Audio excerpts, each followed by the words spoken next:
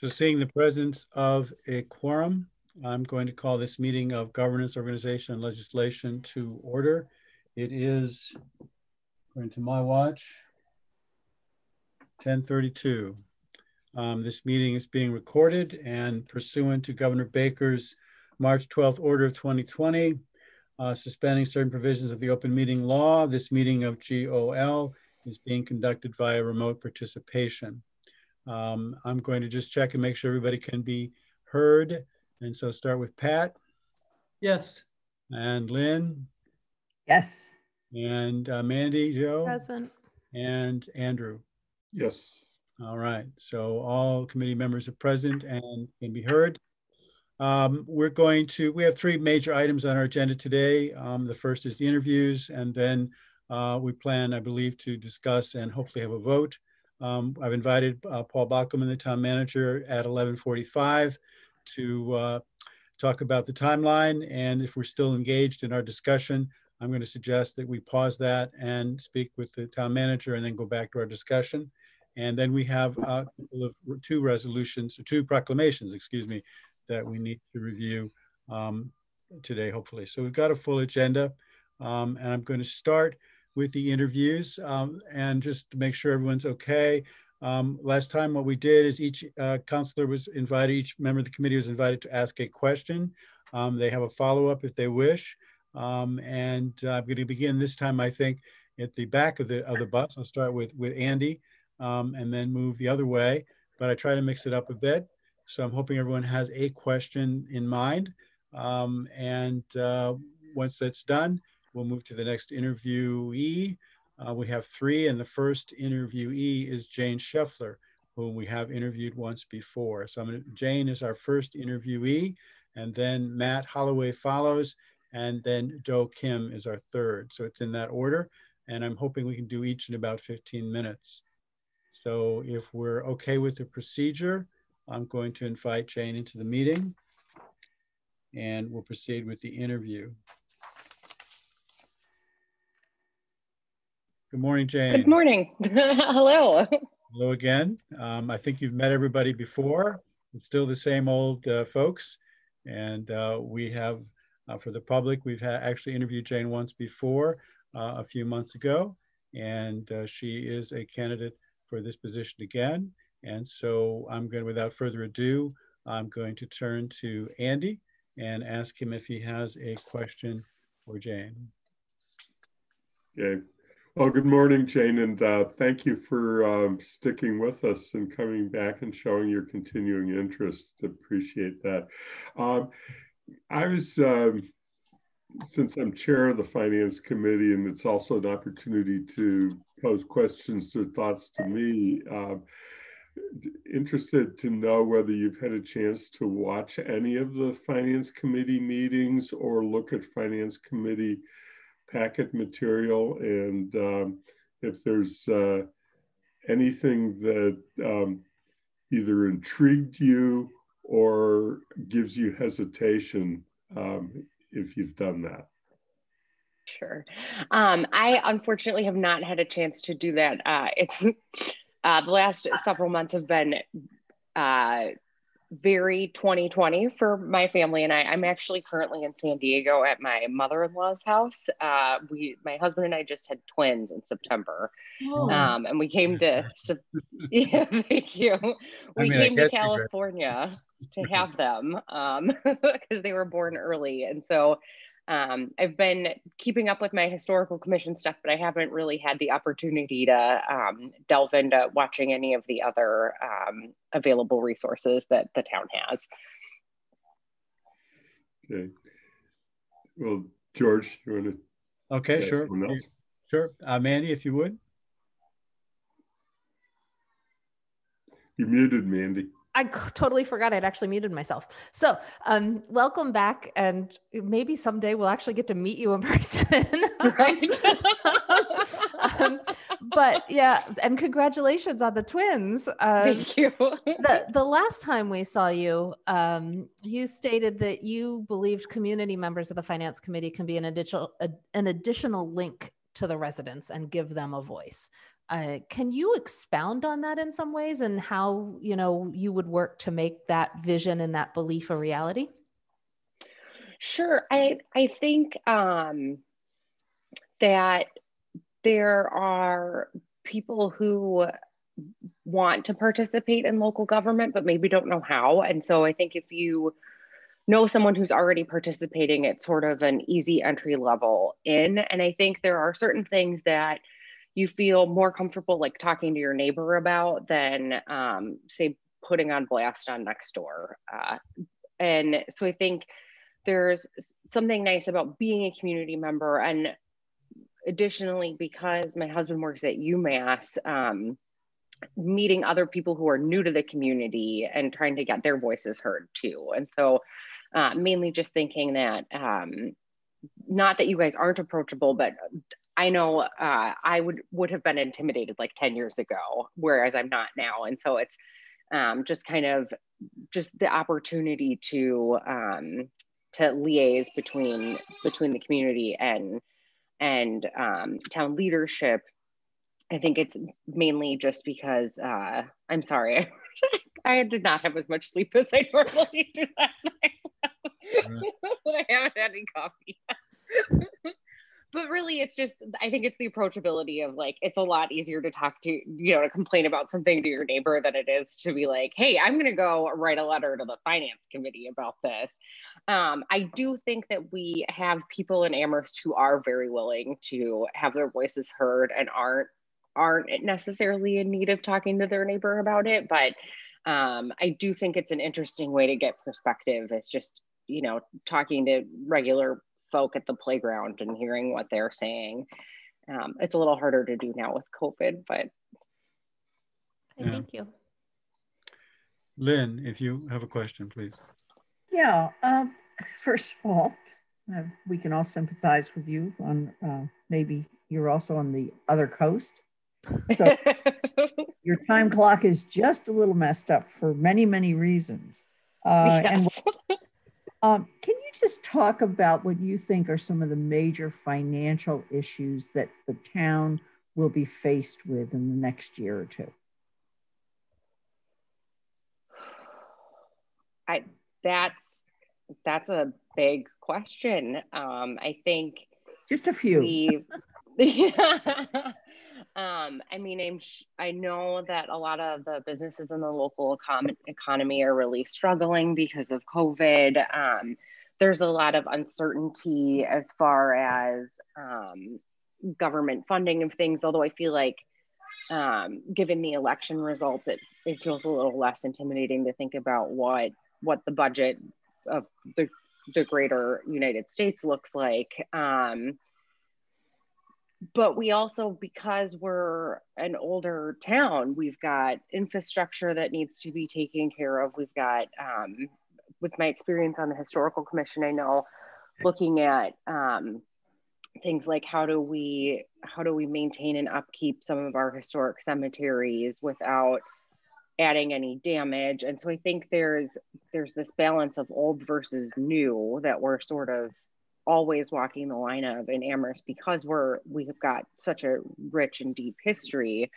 Um, and so I think it's trying to trying to navigate how we how we use the town finances to move the town forward while we also don't lose um, some of these unique features that we have um, with being such a robust historical area, if that makes sense. Mm-hmm. Appreciate that. Yeah, Pat, do you have a question? Uh, yeah, I'm actually going to build a little on Mandi Jo's question about uh, reaching out to residents. Um, at, racial equity is a critical uh, issue here in town on so many levels. So I'm interested in how you see yourself reaching out to the BIPOC community. Um, and, and how would you do that? um, Um, I mean, I think it's just a matter of talking talking to people and not being afraid to talk to them and approaching them in areas. I mean, like I said, like I have I have a four year old, so we go to the playground. So it's I talk to other parents at the playground, things like that. And we're very fortunate. The preschool my son goes to when it's not closed because of COVID um, is a very diverse, um, unique group of kids who come from all over, um, and their parents are from all over, and that's been a really good way to meet and learn about other communities within Amherst. Thank you. Anyone have a follow-up question uh, or a second question they'd like to uh, to offer? Lynn, please. Yeah, um, actually it builds on these. And to, you mentioned that you are a member of the Historic Commission. Thank you for that, your service on that. Uh, and you also mentioned how, um, you know, being out in the public, going to playgrounds with kids, seeing other parents. Are there other ways in which you are engaged across the town? And I don't mean just with town, um, not just with town government issues, but anything with regard to the town. Um, so I have a book club that I started on Meetup that has, I think the last time I checked, 400 members in the community area. We do go I do have members as far out as Vermont and Connecticut, um, but we've got a lot of people from within the Amherst, Northampton, Easthampton, um, that area. And that's been one way that I've really connected to people in the area. Um, I also have a running club that has much less interest than the book club does. Um, but I've I've been uh, because we've only lived in Amherst for about two and a half years. Um, I tried to really hit the ground running with trying to establish a social network for myself. Um, and so the, the way that I've done that is through creating these two meetup groups. And it's been a really good way to meet other people um, in the area, um, especially in Amherst. Great, thank you. Okay. Anyone else with a follow-up? Uh, Andy. You're muted, Andy.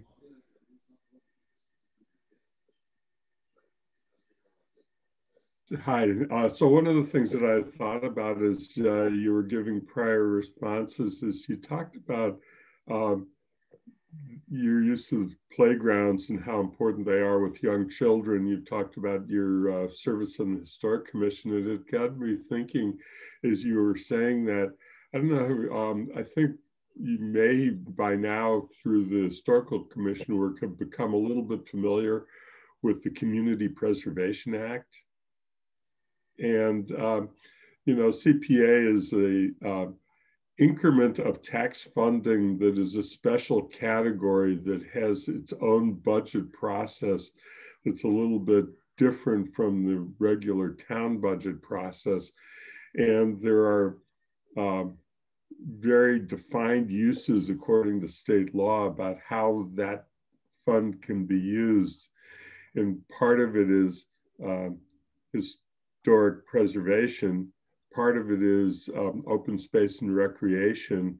And some of those funds were used for Groff Park and the Groff Park work. And then some of it is used for, um, it can be used for housing. And uh, so one of the things that uh, we as a community have to do through the process um, that leads up to finally the council vote with the advice of the finance committee is make a decision on um, the, how to use the CPA funds most effectively to get the greatest impact for the community. You know, um, you know, since you've expressed things that are touched on at least two of them, um, how you how you go about involving the community and how you go about thinking through yourself on um, those priorities? Um, you know, I think this is one of the things that in the town of Amherst we are at a, a good advantage with, and that is we do have a very vocal populace um, who who actively participate. That being said, I think um, having because uh, because of the historic preservation piece to the CPA funding, we um, at the Historical Commission will hear um, proposals for CPA funds before it goes to the CPA committee or around the same time um, to give a recommendation on whether or not we we agree that that's part of the historic preservation plan just to sign on to it. Um, and i think there it's really interesting to see um, what people look at as important and how they want to fund it. Um, so I'm thinking about like uh, the North Amherst Library needs significant repairs, um, and and it seems like the CPA funding requests have been sort of for pieces at a time. Um, and so I think it's looking at um, how can we have the greatest impact in the community um, something like a library that's used by people of all ages how do we make sure that we we fund and support that without taking away from things like um, mixed income housing or low income housing to help diversify our community base? Um, so i think it's a matter of looking at and understanding what the town priorities are um, and then trying to fund them to the best of our ability and I do think some of that is just asking people. Um, and I feel like the town does a really good job of being transparent about what's happening with everything and not just because of the legal requirement, but I also feel like Amherst is just very open and welcoming to people discussing and providing their opinion on on how they want their funding spent. Um, I don't know if that really answers your question. I'm sorry. no, that's helpful. Thank you. Okay. so uh, unless there's another follow-up question, I'd like to give Jane a chance to uh, ask a question if she has one to uh, to this committee um, about uh, FinCom or really about anything related to this whole process. So Jane. I um, don't have any questions mainly because I've been through this process with you guys before and you guys have been very clear about how everything works. Um, and like I said, I just have not had the ability to really catch up on all things finance for the town of Amherst this year. Um, but yeah, I don't I don't have any questions at, the, at this time. So Jane, as we have, did last time, our hope is to, uh, after our interviews, have a thorough and robust discussion and hopefully a vote. So um, my intention is to get back to you uh, hopefully within 24 hours, maybe even later today, but within 24 hours and let you and the other candidates know what um, was decided. So um, you should be hearing back from me um, fairly shortly. Um, and again, uh, our sincerest thanks to you and uh, the best. Uh, hope you get some more sleep. Over Thank the, you. and uh, congratulations again to you and your husband. And uh, uh, thank you so much for, for putting yourself forward again. Absolutely. Thank you so much. All right, Jane. Thank you. Take care. So um, as Jane is being taken out, um, we're going to bring Matt Holloway into uh, the meeting. Um, uh, hopefully he's in the waiting room. And um, we're going to introduce ourselves to Matt quickly, and then we will turn to our questions. And this time I'm going to begin with Mandi as soon as we get that um, just to give a heads up. Hello. Hi, Matt. Good morning. Uh, George Ryan here. And I just want to uh, introduce you briefly to all the other members of the committee. Um, I don't know how they look on your screen. To my right is uh, Lynn Griesemer. Uh, Lynn is also president of the council. Um, we have Andy Steinberg, who is chair of finance. And we have Mandi Jo Hanneke, um, who is uh, also Vice President of the Council and Chair of Community Resources. And we have uh, Pat DeAngelis, who is the Vice Chair of this committee. Um, so that's who is going to be talking to you today. Each one is going to ask you a question. They have a follow-up if they wish. And then when we're done, um, I will ask if you have any questions for the committee about uh, the process or about FinCom, since we have obviously Andy present as chair of the Finance Committee. So um, our first of all, thank you very much for putting yourself forward. Um, we're very much appreciated. And I'm going to begin uh, the questioning with um, Mandi Jo. Thank you and welcome, Matt. Um, and thank you for applying for this opening and all. Um, I'm going to jump right in. And we are, Amherst is part of a regional school district. And in your statement of interest, you indicated you had some experience with DESE and, and just regional budgets through, I think, Templeton and your work in Templeton. So can you describe how your experiences um, at DESE and in, in those other positions might help Amherst as it struggles with working with three other towns to agree on regional school budgets and assessment methods? Mm, good question.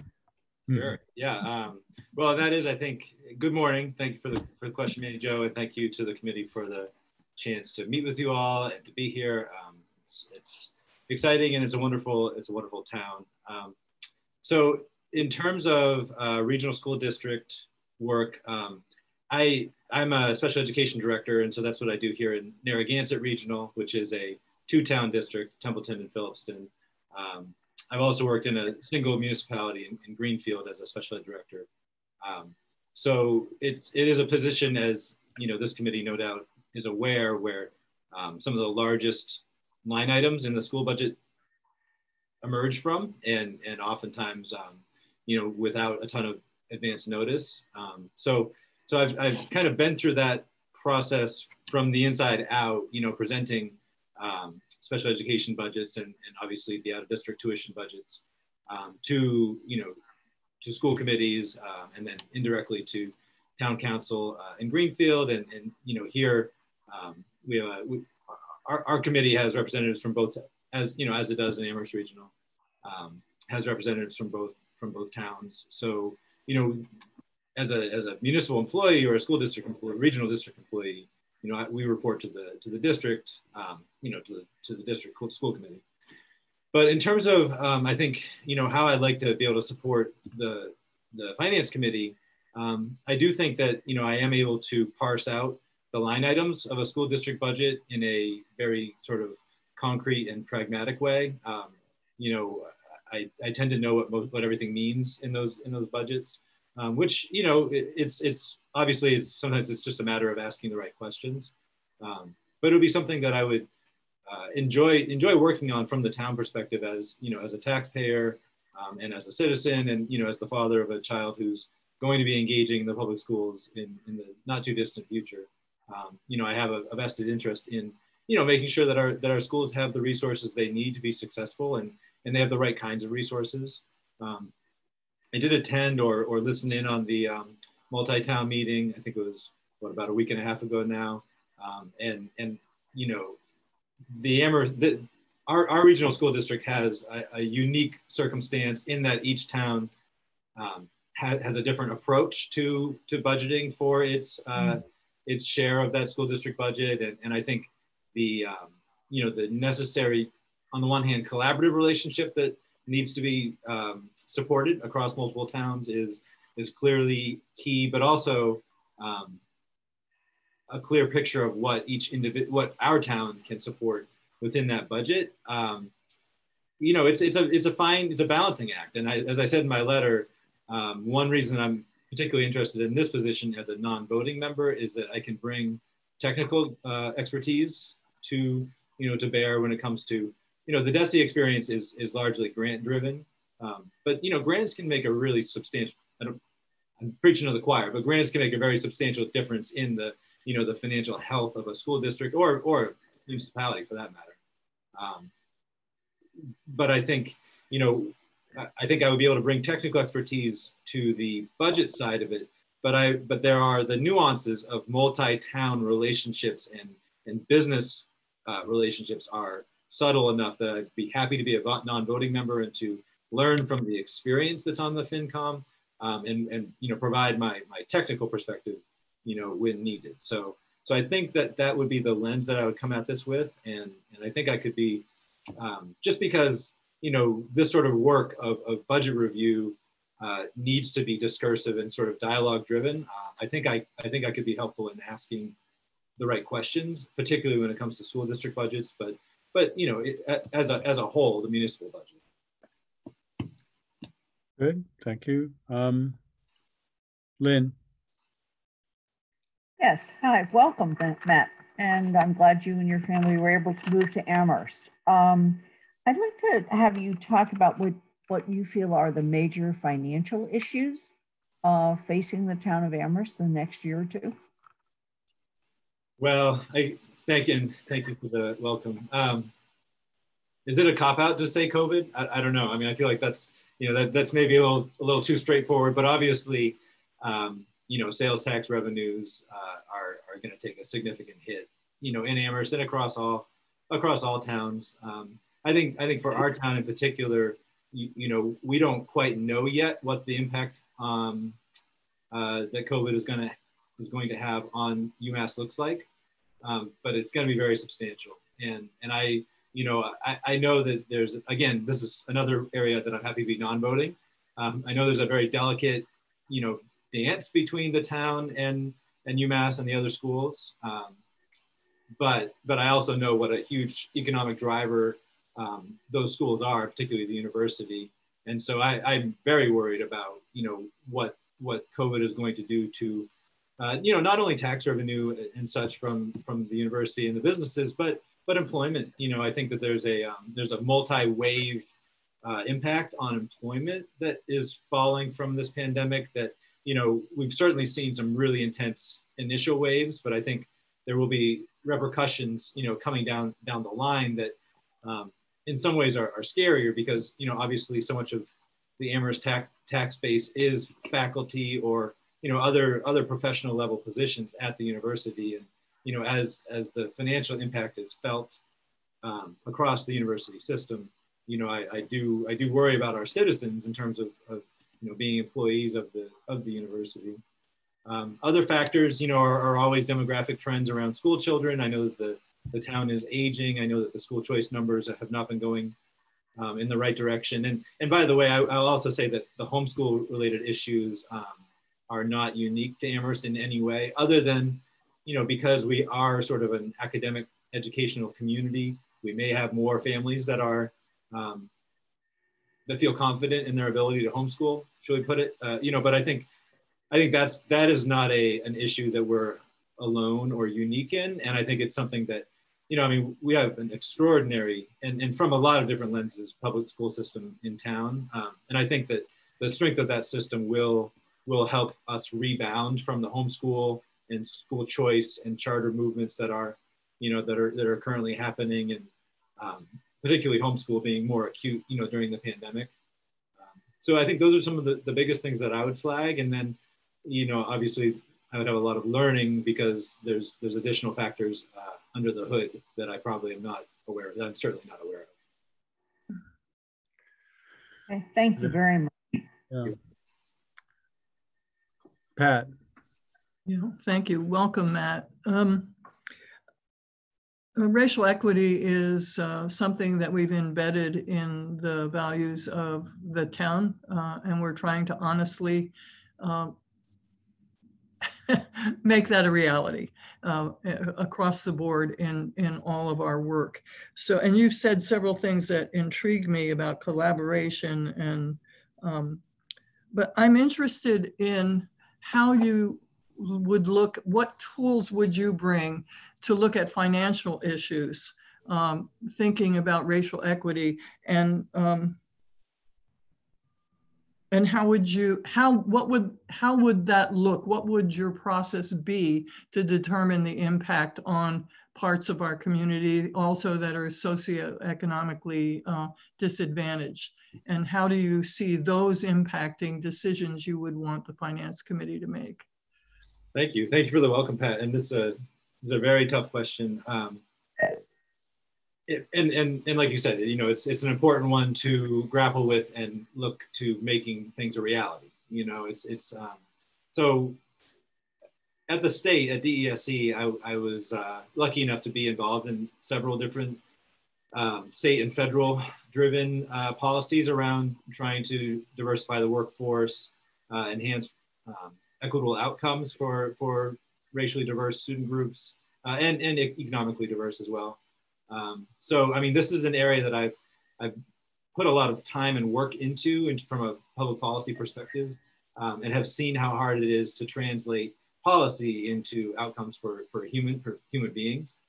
Um, I'm also, you know, this is another area where I'm I'm interested in learning sort of the the norms and the working routines of a town finance committee, uh, insofar as you know agenda setting versus you know sort of playing a legislative oversight role.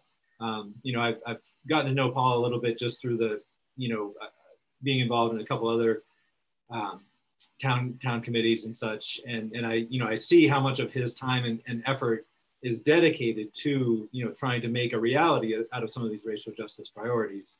Um, and so I you know I don't want to I don't want to skirt the question by saying that the finance committee you know is the, the role is to sort of provide support and oversight to the town manager because you know I, I know that we have a charter that is set up um, with a more I think more legislative um, power than than you would find in, you know in some other towns of our size. Um, but I also think that, you know, because the town manager is the one who proposes that initial budget, um, and because, you know, he has clearly heard loudly the, you know, the call to promote ra racial equity through through our budget, um, I think, you know, the, the importance of, of, a, of the town council and of a subcommittee, it really is to, you know, help help sort of talk through and, and envision, you know, what are the, what's, what are the odds of success for these various things that are being promoted. Um, and I and I, obviously I know that a lot of you know initiatives arise out of the, the legislative body, um, but I really think for them to take shape and to take action, you know, it, it's it's a lot of a, support role, support and oversight, you know, to the administrative branch. Um, so so that you know that being, I just I wanted to say that first because I, I want to be you know cautious about the that sort of legislative administrative balance that needs to be struck, but but I also will say that um, you know and and uh, Oh, I thought I thought Steve Schreiber might be here, but but you know I, am in um, I'm in District Four, and we had a presentation on the 40 uh, the 40R overlay um, zone last 40R or 40B. I'm sorry. 40R. 40R. R. It is R. So you know we had a presentation on that the other day, and I think you know some of those moves towards um, responsible high density housing uh, can can can but again, this is an area where policy doesn't automatically translate into outcomes. But but you know, having um, a, a thoughtfully crafted, you know, housing density zone um, uh, zoning can can you know promote racial equity. However, you know, it also it doesn't have to. It doesn't mean it's necessarily going to happen. Um, and so I think a lot of the things that that a legislative body can do um, to promote racial equity have to do with representation and, and you know prioritizing um, diverse members of that body, and, and you know, and I and I've seen just sort of from the sidelines, Amherst making a lot of effort towards that um, in terms of representation. Um, but I but I, I, think a lot of it, you know, is also in, in messaging and and in sort of making direct outreach to the pockets where where racially diverse uh, people currently live in town, um, and making sure that the town is a welcoming um, destination for for families and individuals who are you know, who are racially diverse. I mean, I think, you know, being in the Pioneer Valley and being on this pipeline with Springfield and Holyoke and Chicopee and, and other more diverse towns, you know, near and cities nearby, uh, means that, you know, we, we can be a destination for, you know, families that are, that are looking to move into, um, for, for all the various great reasons people come to Amherst. Um, and I would love to see, you know, some of the demographic numbers on, you know, who moves here. I mean, are we seeing a racially what is the racial makeup of, of the new residents of town versus um, sort of the historical, you know, people who've been here for a long time? I think that'd be a, an important question to, to look at as well. Thank you. Thank you. Andy. Well, welcome. Um, as chair of the finance committee, um, at some point you might have questions that you want to ask of me too. And I think that George will provide that opportunity later. I was wondering, I guess I'm going to cheat and uh, build two questions, uh, really make this two questions. And that is one is whether you've had a chance to look at um, any of our meetings um, and uh, um, have, um, or materials related to the meetings and have any thoughts about how the finance committee is performing and structured, and if so, what intrigues you about it. And um, the other piece, the, the other question is uh, one of the things, budgets ultimately are about choices. And uh, we're constantly confronted with how much to put into capital, how much to put into operating, and within each.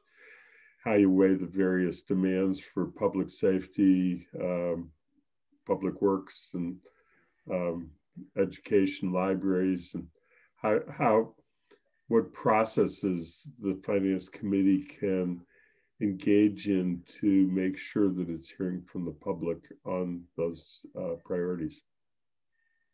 Yeah, thank you for the welcome. And um, I, I certainly have uh, enjoyed reviewing the materials on the finance committee. And I do have a sense, I mean, I've, I've looked at a number of the presentations that you've made to the whole council.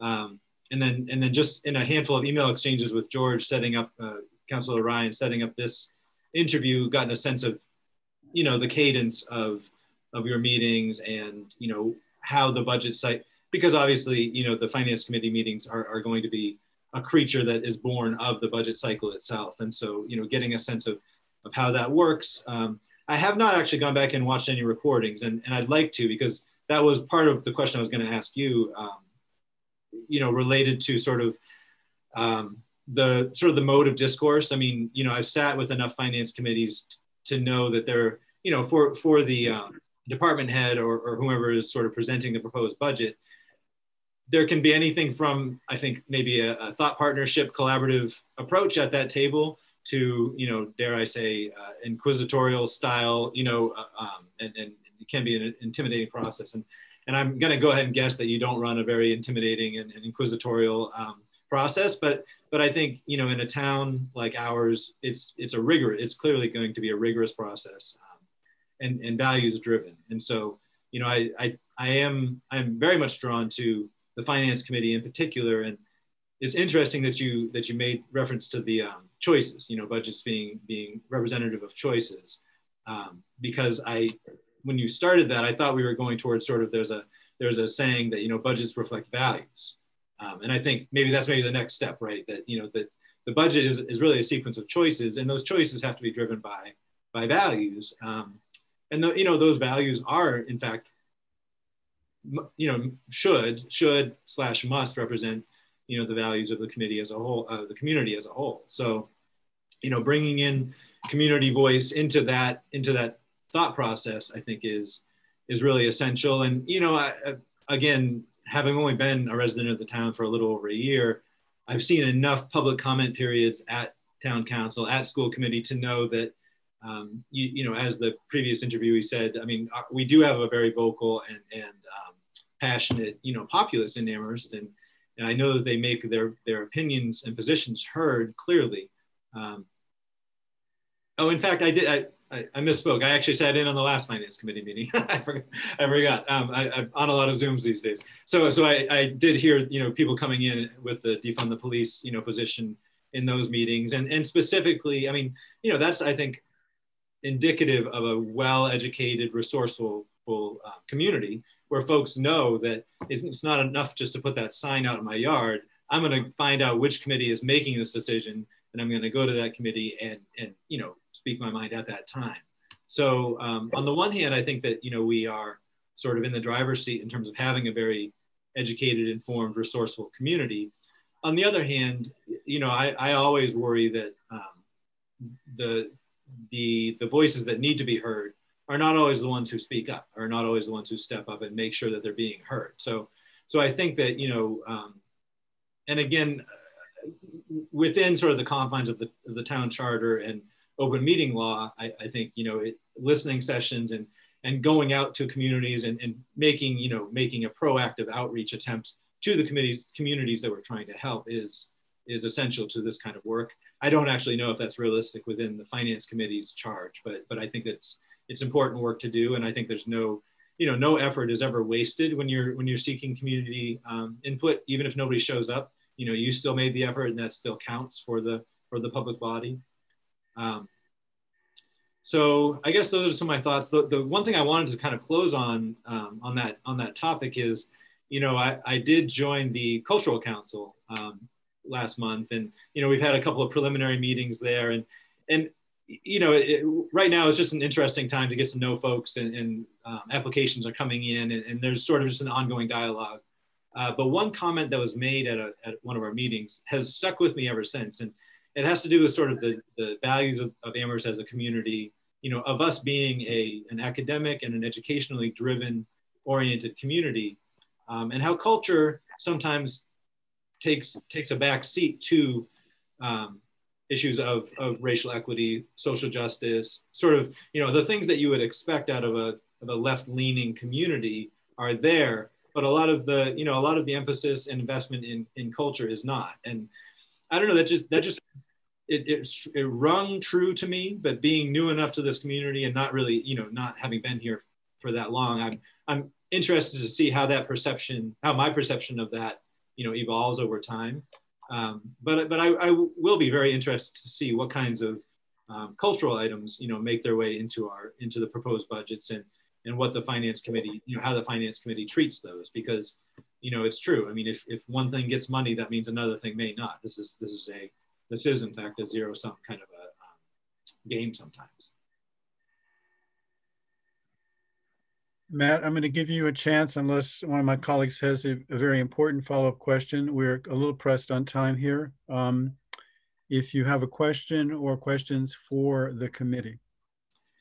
Yeah, I mean, my, my question actually, which which has already kind of come up, but I, I would be curious a little bit, um, just in terms of the sequence, you know, from a legis like being part of a legislative body, the sequence of um, relationships or or or decisions it's not so much just I know I know how the decision making authority is, is, is written, but you know from a non-voting member who I who I envision to be somebody who is a discursive a member of, of a discursive process where the budgets are presented and, we talk about them uh, to the voting members you know who actually would would make the vote and, and, make the recommendation to the council and then to the council as a whole um, you know what is the most harmonious way for that for that sequence to function in other words you, you know, um, what throws it off? Like what, you know, what, what can happen in the finance committee, particularly with a non-voting member, what can happen to throw off the overall sort of harmonious functioning of that, of that sequence of, of getting a budget passed?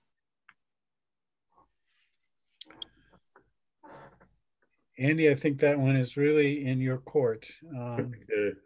It's going to wait to see if Lynn, as council president, has maybe, any. Maybe Lynn has a thought there. I don't know. Andy, why don't you go first and I might yeah, um, you know, we're a relatively new council because we just adopted the charter, and it's been interesting for me to watch how the uh, function of the uh, finance committee resident members is working within the committee.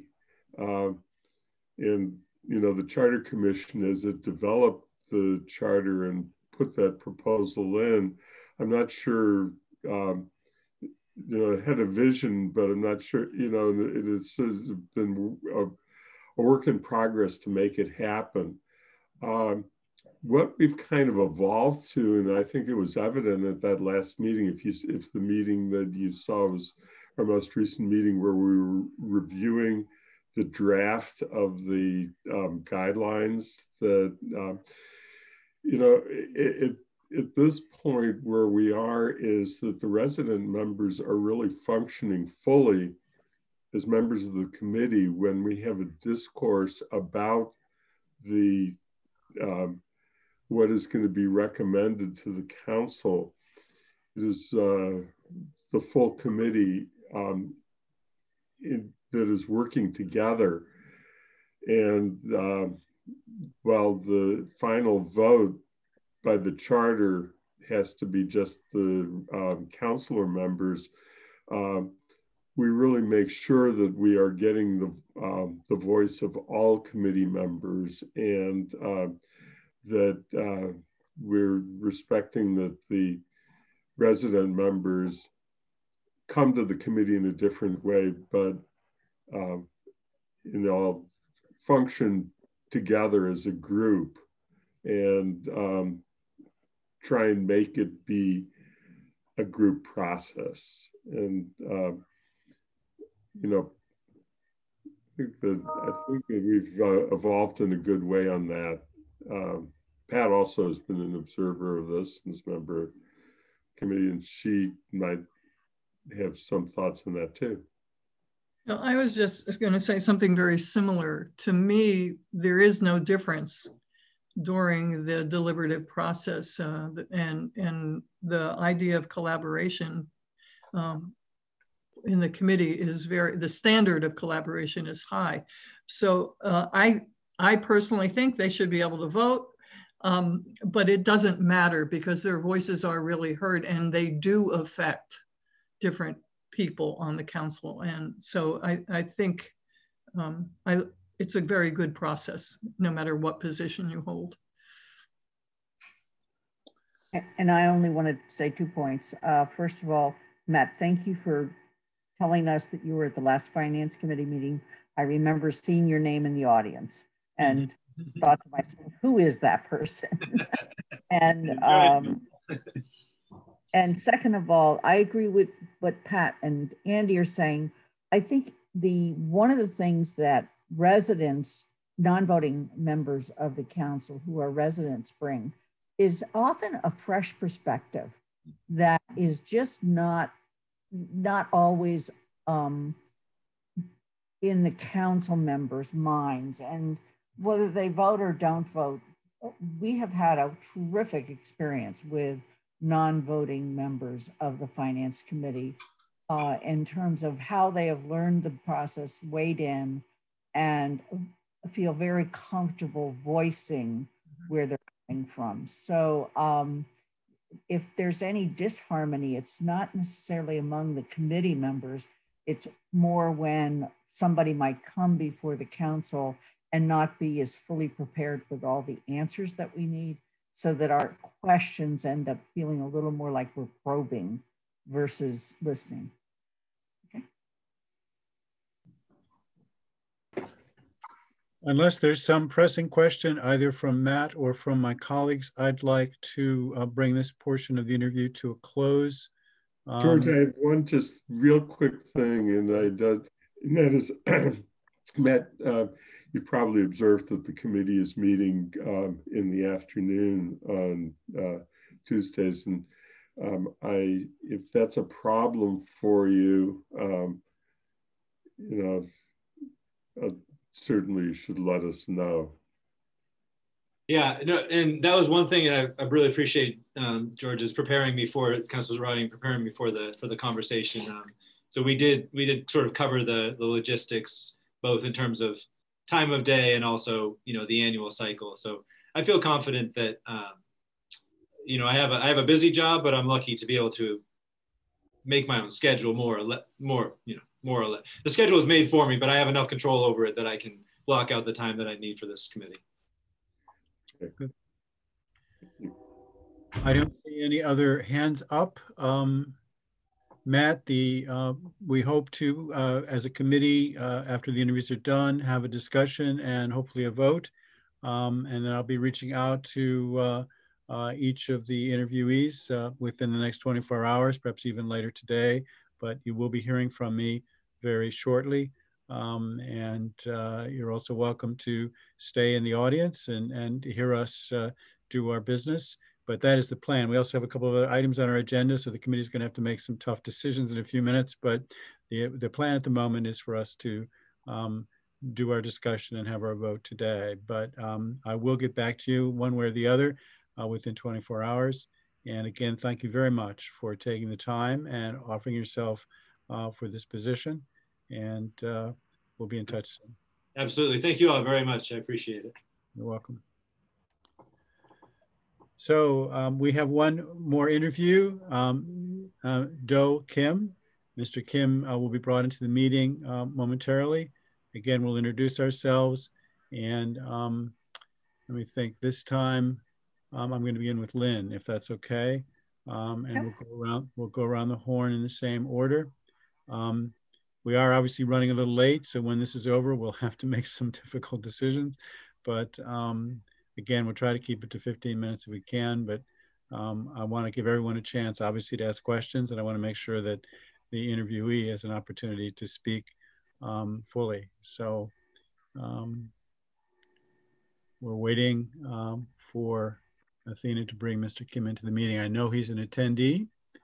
Um, and well, his name is, well, hopefully that means he's being brought in as a panelist.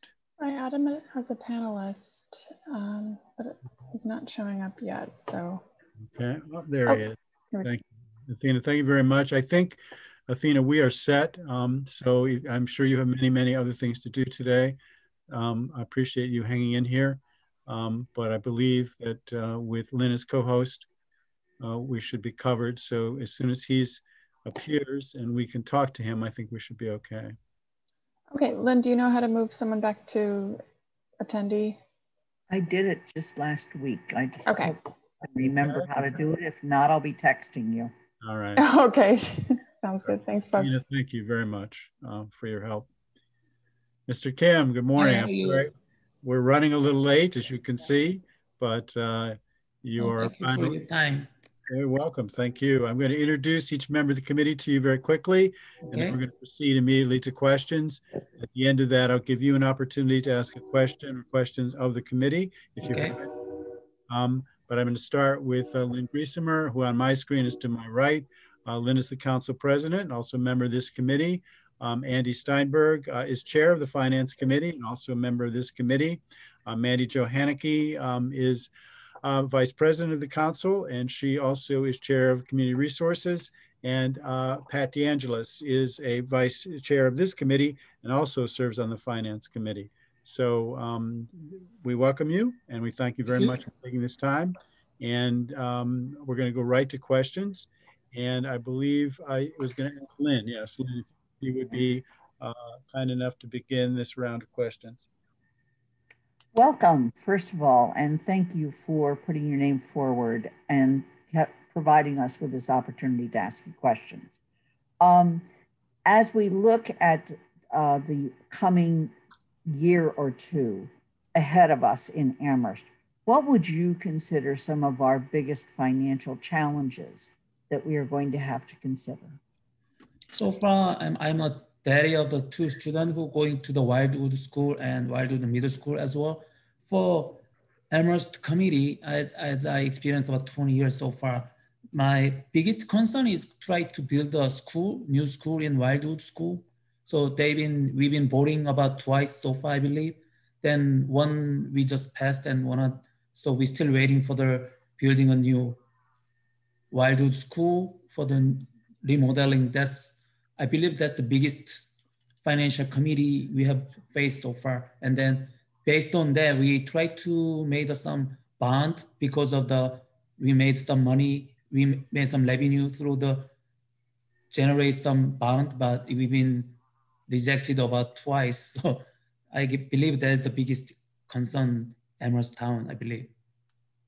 Are there any others that you would list on that list of? Also, we are facing COVID-19 crisis right now. We've been, our town business is very dead. Also, UMass decided furlough about, I believe about 70% of the employees is furlough status right now. So based on two things, we are going to very hard time, less than over Amherst, also business of Amherst area so far. So we try to get some more revenues, but we need more benefit to our resident of Amherst town. That's we both things we have to balance it. That is the biggest concern of our, I believe that's the financial biggest hurdle in financial committee so far. Thank you. No, thank you. Mandi, directions, George.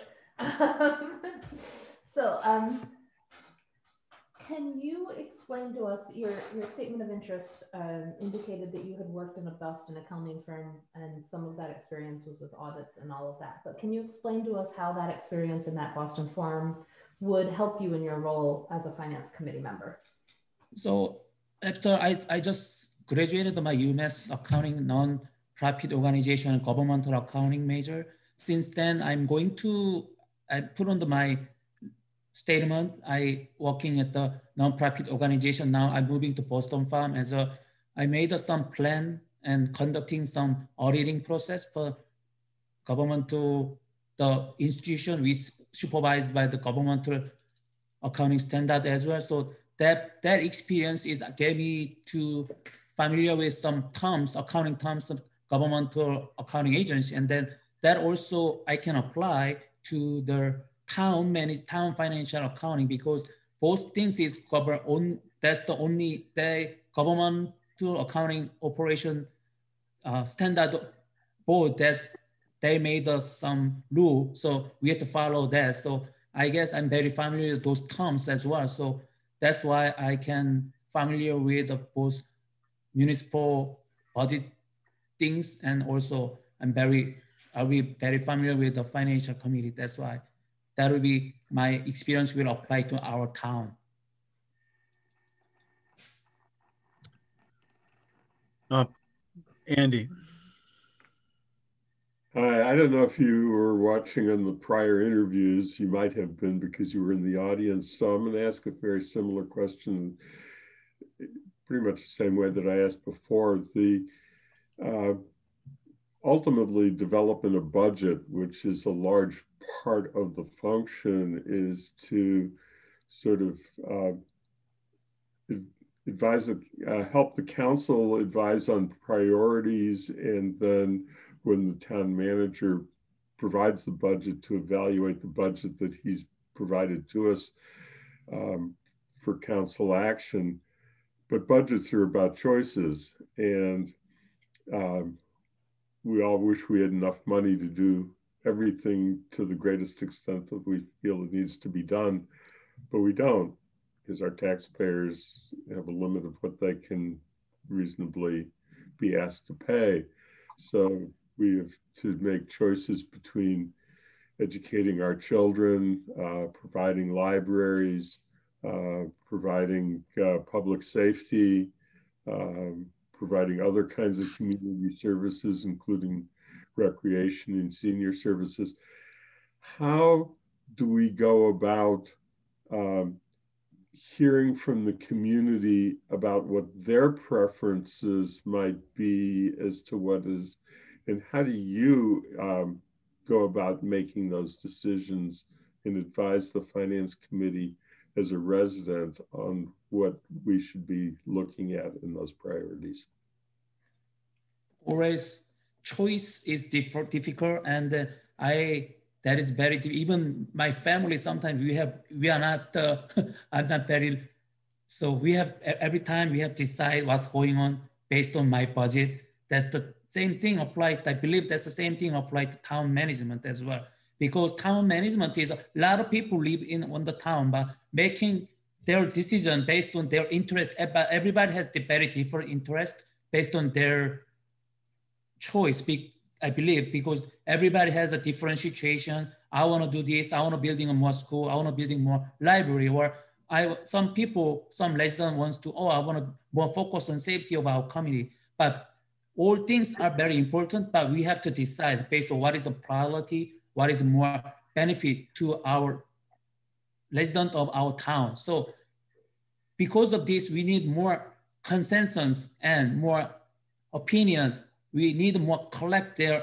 And then when we make the priority, which is best, then we have to, how many, now we have to, how many residents we live in our town, how they more focused on their interest in, on terms of the budget. So I believe that's the hard things, but that's we need more because of the we town our town is very small and town based. I take it out of my experience, but the budget paper while I preparing this interview, we are very tight budget, but we have to we have to make some more collect and more we need more consensus among our residents then we can choose which one is more priority and that's how we need more talk among our residents. Then we can choose the, what is the best and benefit to our resident of Amherst Town.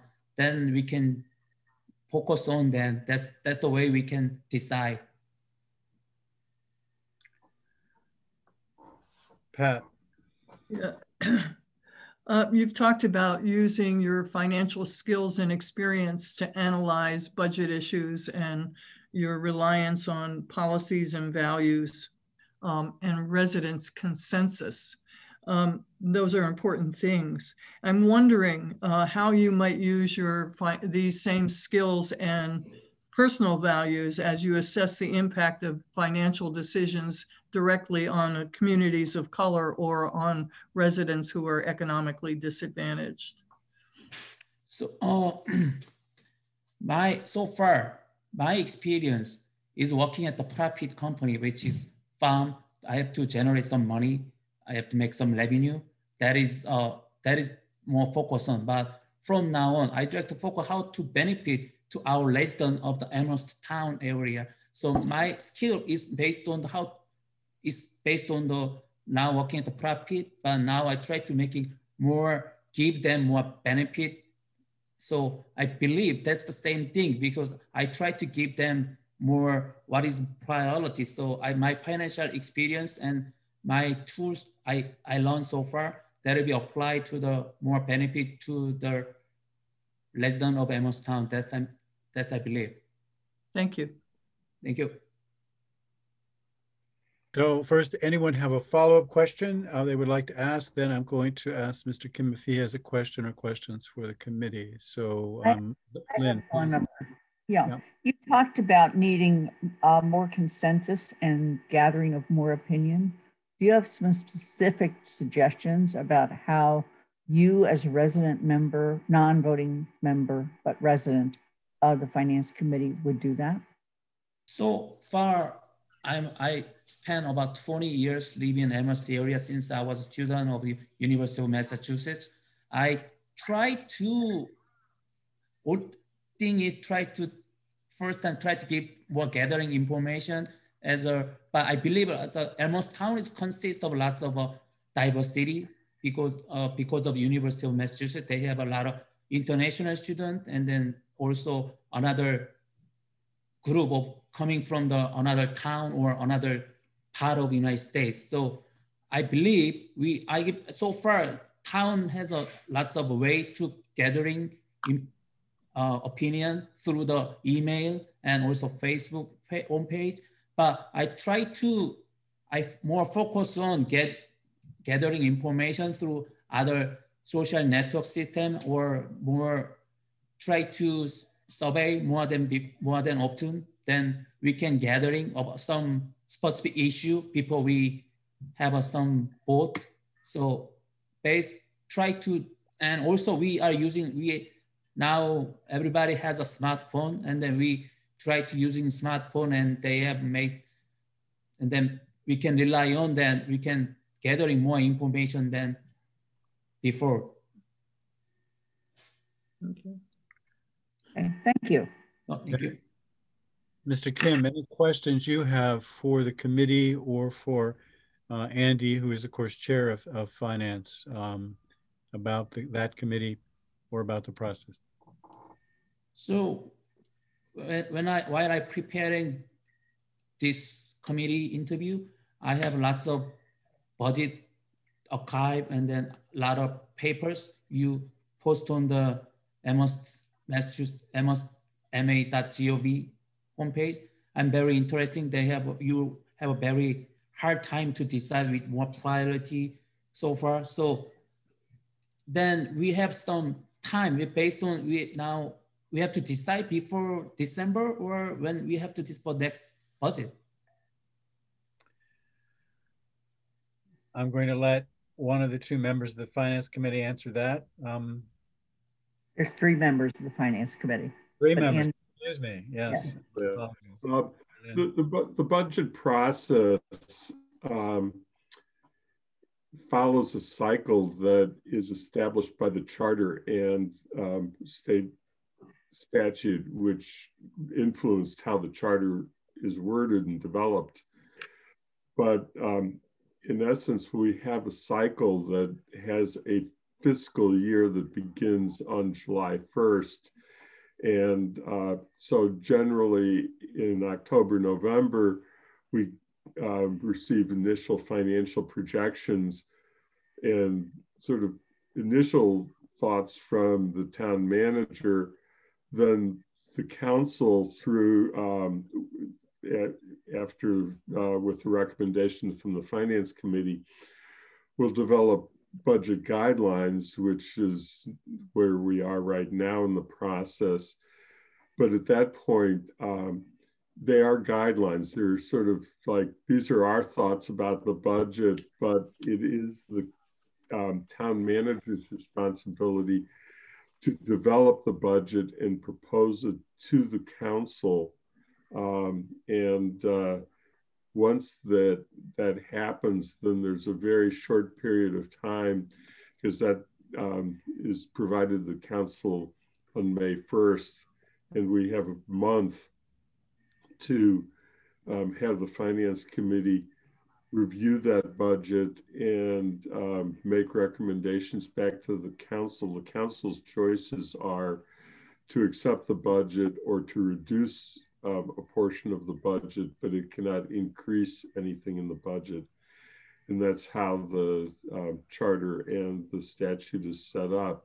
So that it is a cycle. I mean, it has its pieces that work together, and uh, we're, uh, you know, that's basically what we try and do so that the council and the finance committee are weighing in on several segments. And then there are other responsibilities that come along with the finance committee, which is to uh, review budget reports um, and to see how the budget is being managed through the year. And um, we also serve as the audit committee.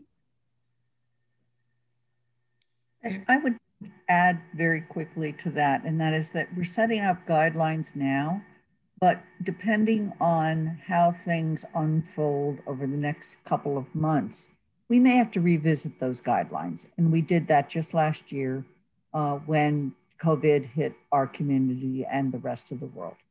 So there is an opportunity to revisit those guidelines, but we like to work with uh, in the schedule that me, Andy has laid out. Okay, thank you. Thank you.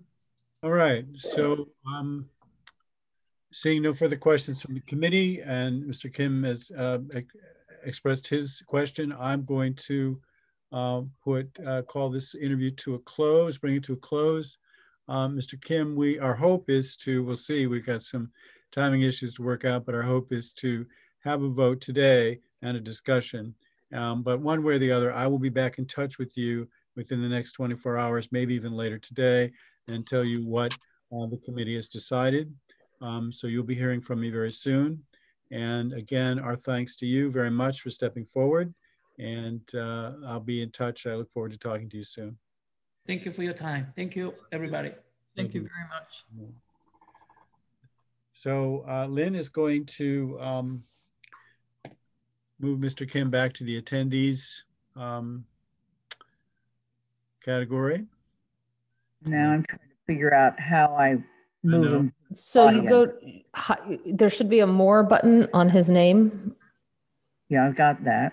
And then you click on that, um, and one of them should be removed from panelist or Just move to says remove. attendees. Or, or move to attendees or something. It should, it should be one of those options. And I've got remove, assign to type, It's, close it, allow to multi-pin. Paul, yes, it- it's on the panelist list, not, it's not Yeah. on the picture. thank Not on the you. picture, on the participants window. Got it. Thank you.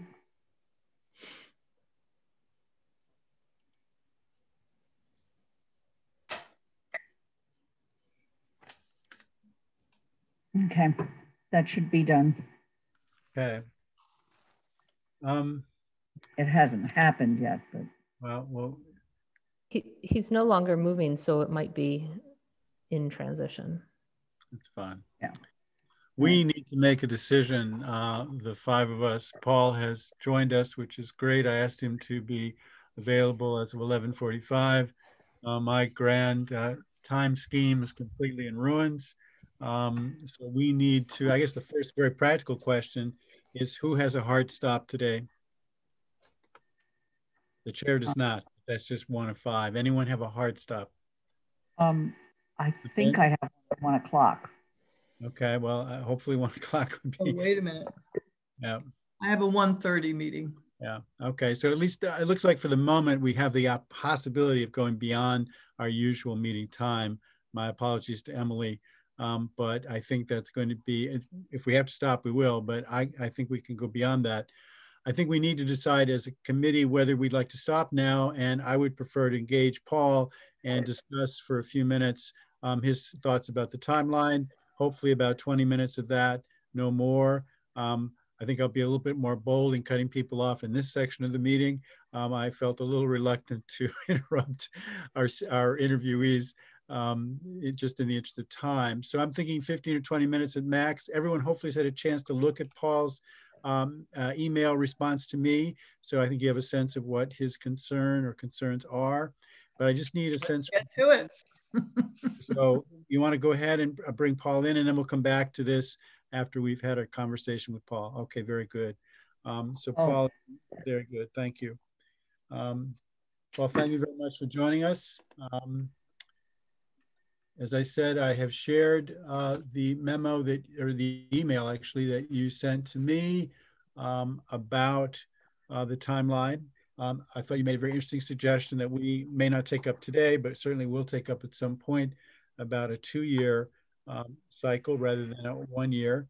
Um, and uh, hopefully my other answers were clear, but the, the, the core message that I got from you um, is the question of whether the timeline as it's current, as it currently stands um, would actually give you uh, or give anyone a, a complete picture, give you a chance to give a complete picture of your performance over the years. So you had, I think, a very real concern about, about that. Um, does anyone on the committee have a question about that before? I mean, I can have Paul expound on that a bit. Maybe that's a place to begin. And, uh, or do people have a particular question they want to raise right away? I, I have a question as it relates to Paul. Um, the, the proposal for a potential moving to two years. Um, I, I guess my question is, how do you foresee that working in conjunction with the charter requirement to annually review you? Um, or, you know, review your performance. I, I- forget how the exact wording is. If we set sort of two-year goals, how do you see that sort of interim year and interim review happening? Yeah, no, I think, if I may, Mr. Chair, um, the, yeah, I think the, the charter is clear that it needs annual review. So I think you'd have to figure out a, a one-year review in between. I mean, you know, you may want to do it more frequently even than that, uh, sort of check-ins. But um, yeah, it's just a, an idea um, going forward of, you know, a few years from now, the council might want to think, well, we're on two-year terms. We should be looking at two-year cycles of everything, policies, budgets, all kinds of things. Sorry.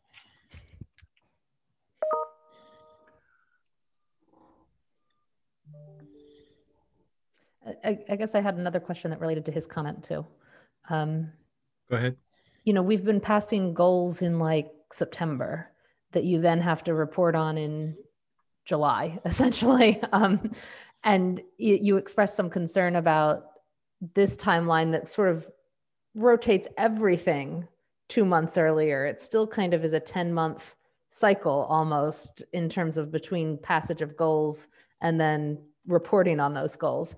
Um, uh, can you explain, you know, or talk more about that concern of how that moving two months earlier with the goal was to get your goals passed by this beginning of fiscal year, but how that might affect, you know, you express concern that that it might actually be worse than passing the goals two months into a fiscal year because of when so many of those goals might need reported on. So can, can you talk about that a little bit more? Yeah, so I think anytime we're truncating the year, either way, if it's goal setting not happening, not actually happening until after July 1 or the evaluation happening before June, the end of the fiscal year is a, it puts whoever's in this seat at a um, disadvantage in terms of trying to achieve the goals.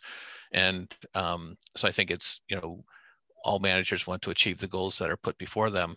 So, um, I mean, I think that uh, the goal of, of the, the- the mission of, of achieving, of ad- adopting goals prior to July 1 is a good one. I just don't see that happening on a regular basis because of all the things that council has to do during the months of May and June. So already it's a truncated year. So you're really looking at a six month time frame. So that was the concern. It's, um, you know, I guess the the the reason for, I, I don't really understand the reason for moving the um, evaluation period be earlier than July 1? I'd be curious. What I don't know the answer to that question.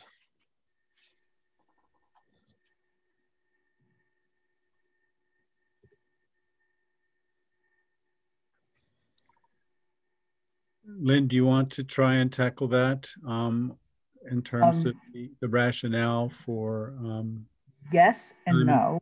Um, I was the original developer of the calendar.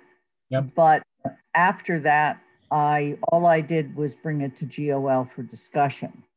And this issue itself was one of serious discussion uh, among the um, committee. I don't, ultimately, I think what we were trying to do was get back to unloading the month of August and July and August. But other than that, and, and therefore trying to back our way into that.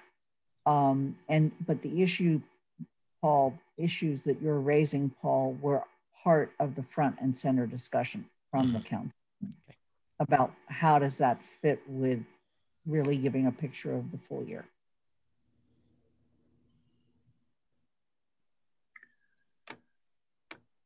I personally am willing to revisit it. Andy has his hand up.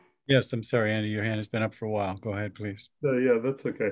Um, I think that one of the problems that we've been struggling with with the calendar piece all along is there's so many different um, drivers to the process. Um, you mentioned uh, the cycle of election of council to a two-year term and how that then fits in with goal setting and uh, with evaluation. And, you know, I think that we're in a way struggling with that in our own discussion because uh, we recognize that for councilors who get reelected, they bring history to it, but councilors who come new to the council um, will have a lot of energy and a lot of thoughts that come out of their campaign and what they thought that they were trying to achieve by their election to the council and their desire for voice. And uh, the struggle of how to make it all fit together because we also recognize that new councilors have a lot of energy and a lot of ideas, but don't have a lot of experience in necessarily the um, hard part of running a government. Um, I think that we're all trying to figure out how that works and how it fits together. And so um, I know that's not, uh, it's, it's more defining a problem than, you know, we were trying to come up with solutions, but I'm not sure that we came up with the right solution. And that's why your comments are valuable, appreciated.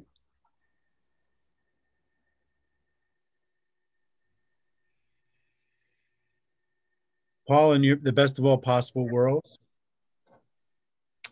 if you could uh, just dictate this uh, calendar, say this, or just, you know, what your preference would be. Well, I, um, I mean, I think first off, the to recognize that the the way this community does performance review of the town manager is a very arduous, time-consuming process by the town council. So it's a it's a big ordeal. Um, very few, if any, communities do it as as robustly as we do it. I'm not saying that's good or bad. I'm just saying to recognize that it's a job. So I would say if you were going to schedule it, I'm just rethinking this now. Um, I would align it with where it fits into the council schedule best. Because if it's 12 months, it's 12 months, whatever it is, you know, and, and we'll get there. Um, and I think that you should say this is a good month or whatever time allotment you have for us to take this on as a council. Um, and um, I guess that's, that's that's one way to look at it. When is it best? When is it best for the council? Another way to look at it is to align it with the budget season. With a budget year, we know that a lot of work gets done in June as people are are driving towards. You know, they got to spend the money by June 30th, or it goes away, and all the work that has to be done is aligned that way. Um, so you could look at it on a fiscal year. And then the third way to look at it is um, to align it more with the uh, electoral the, the electoral uh, schedule, which is an, an annual or biannual, but you know every you know evaluate in December and mm-hmm. prepare for January. Um, I don't have a strong preference for any of those, um, honestly. Um, we can meet whatever you is best for the council. Okay. Okay. Pat, please. Thank you. Um, Paul, you talked about wanting to wait uh, till the end of the fiscal year because it would be clearer how you had met goals. Um, and for me, I'm often more interested in the process that was you that is being used to get to goals and how how though how your process in this instance is reflective of um, council values and and policies, et cetera. So um, why does it feel important to you to rest it on having completed the fiscal year? Could you build mm -hmm. it? Thank you. Um, so if the job is to hire an economic development director by the end of the fiscal year, oh, that's not a good example, to do a certain project um, by a, a, period of time, um, typically the, there's a budget for the project and that budget expires on June 30th, say. Um, not always, and um, but but we uh, we just know it operationally that a lot of work gets done at the end of the fiscal year, just like everything happens at the end of whatever the deadline is um, to accomplish the, the, the goals. So I'm, i guess I'm, we should look back at what the goals are, and they're they're probably not really tied that much to budgets. Um, it would just have to be before I presented the budget to you um, for this for this situation, which is May 1st.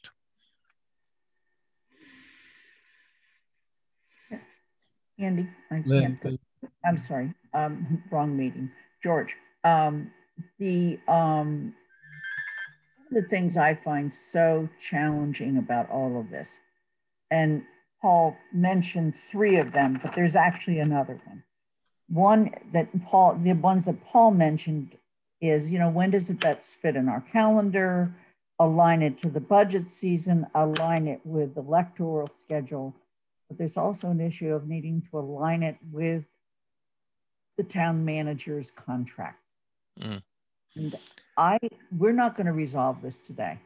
I, am just going to say up front. I, I, I think it's important to uh, have further discussion um, with Paul and also with the committee, um, and also bring in uh, other questions or comments that were made by other councilors. Um, the, balancing those together and looking at a complete rethinking of the um, maybe maybe part of the rethinking is what is the cycle on the town manager's contract as well. Um, but the other, the fifth one, frankly, is the election year, the election cycle. And I'm I just Eh, you know, I just know how we struggled as a council. I don't mean struggled, I think we actually rose to the occasion. But, you know, it took us a while to get our act together. Depending on the amount of turnover in any future council, it could take quite a while to get the act together. And I would hate to see the town manager go without any kind of long term understanding of what at least past council's goals were. So I I just throw in some additional um, pieces to the carfuffle here that I think have to be considered.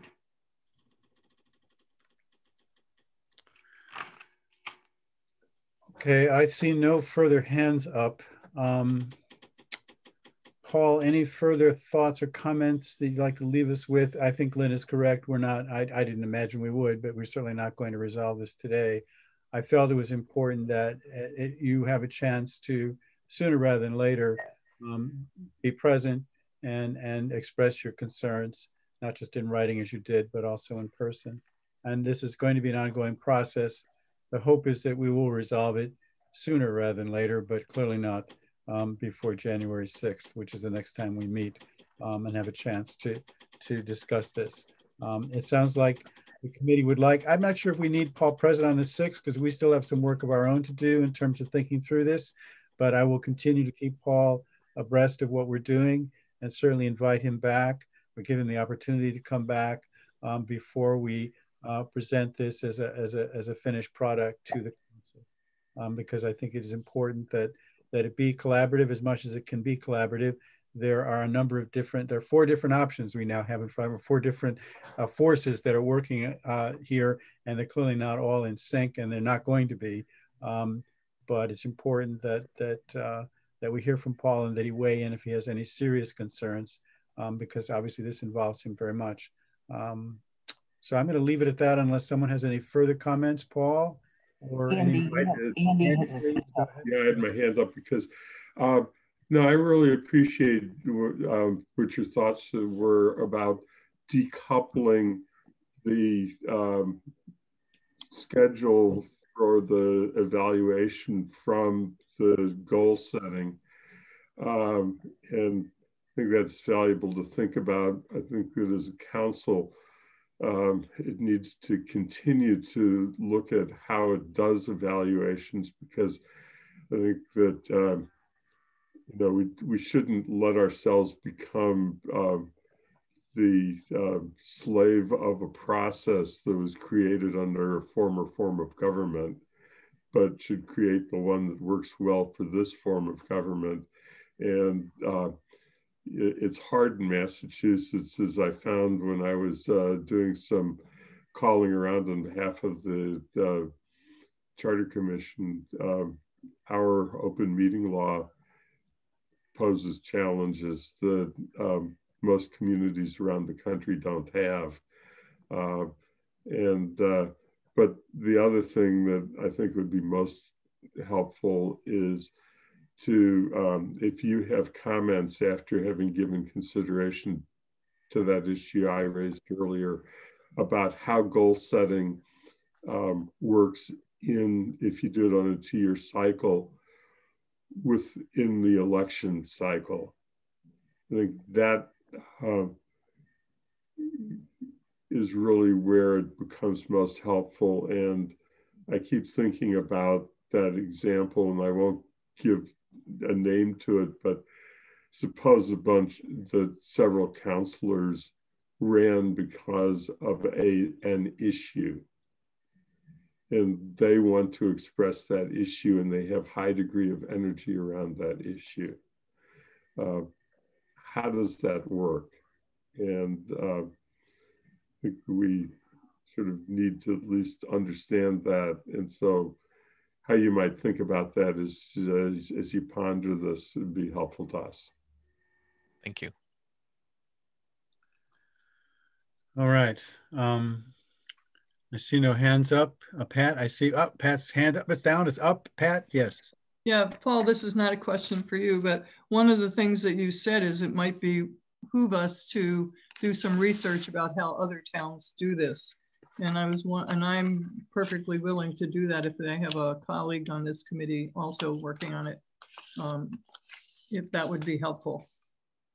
I'm more than glad to work on that with you, Pat. Great. Okay. Thanks, Lynn. I would just ask if Paul has suggested towns to look at so that we don't have to find oh. them ourselves.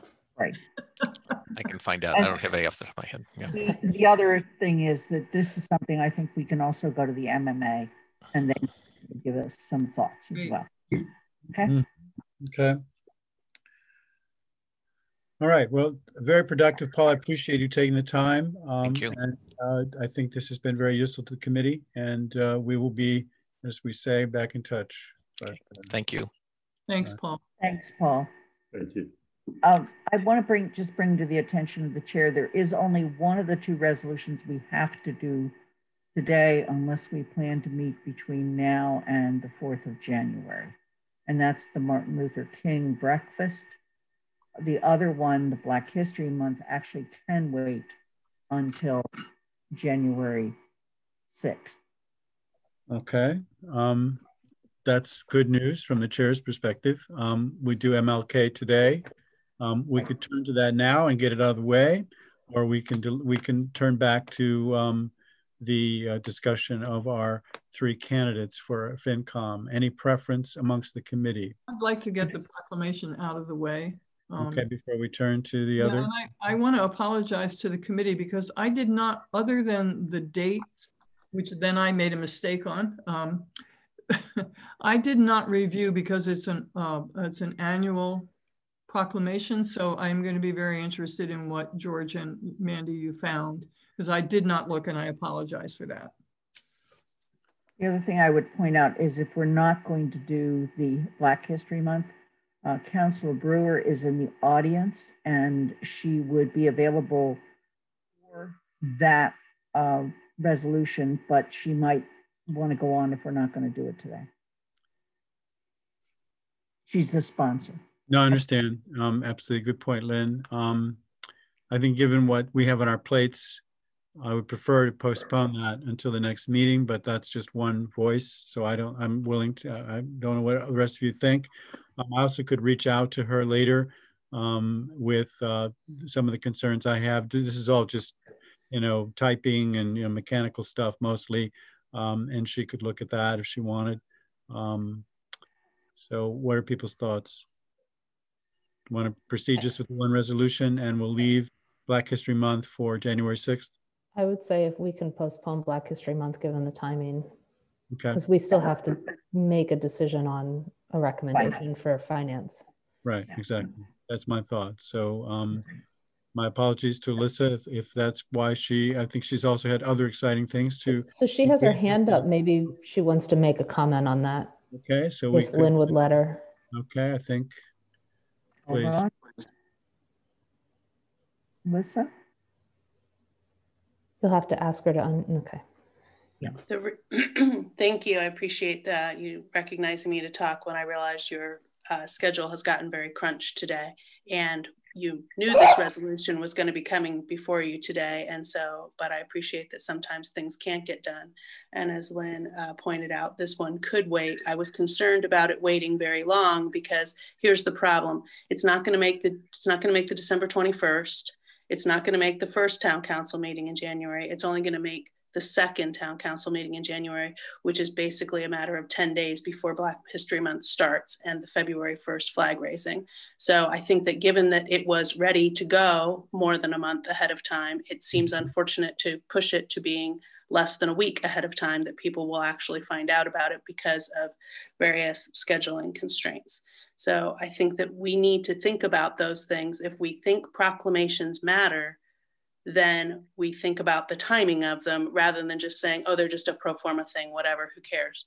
We put them in consent and nobody worries about them. If we actually think they're valuable, then getting them out there into the public's hands is important, which is why I'm really glad you're going to work on the MLK uh, today to, again, make sure it gets out in the public's hands. Although obviously the annual breakfast isn't going to be the same, everything being COVID related. As to the wording in it, George, I'd be happy to have you tell me anything that's wrong with it, but I'm not going to change anything in it because it is the same thing that's been before us for like the last year, last year, three years ago, et cetera. This is not the year to fix this. We have plenty of outreach planned to various segments of the community based on my work with the reparations group. And it was agreed, as you know, via email um, that I sent to you before, well, in 48 hours in advance, that um, additional outreach was going to happen before this possibly came to the you know council for the next annual review. This is an out of date, somewhat stilted proclamation, but it is what we have, and I have no intention of changing it. So you can either recommend it or not recommend it, but I will not be attending another GOL meeting to argue about formatting associated with it. I'm not quite would, saying that I misspoke, but I think I did. Um, th there are two proclamations on our table, and it's the MLK resolution that I think has some issues of wording. Um, I had no issues with wording of the uh, Black History Month proclamation at all, just uh, technical stuff um, that it, we could easily do today, but has nothing to do with content or wording, just capitalizing, bolding, punctuation, that kind of pet, petty stuff. So And no, issue. has her hand up. I'm sorry. I, I just looked at my track changes for the Black History Month and I, I agree, maybe we could do it today. Mine are mainly No. technical. There's Yeah. one thing that's not. So Okay. If that's the case, I think we should go ahead. Okay, fair enough. Um, do you want to start with that one and, and just uh, get it out of the way and then go to MLK? Sure. sure. Okay. Um, if we can put it up on the screen, if that's possible. Um, Yep. and maybe Andy, if you want to put your version up. Um, I have a track change version as well, but my computer is giving me a big problem today. So I can totally put mine up. thank you. And let's look at it and let's uh, let's move on and then we'll go to MLK. So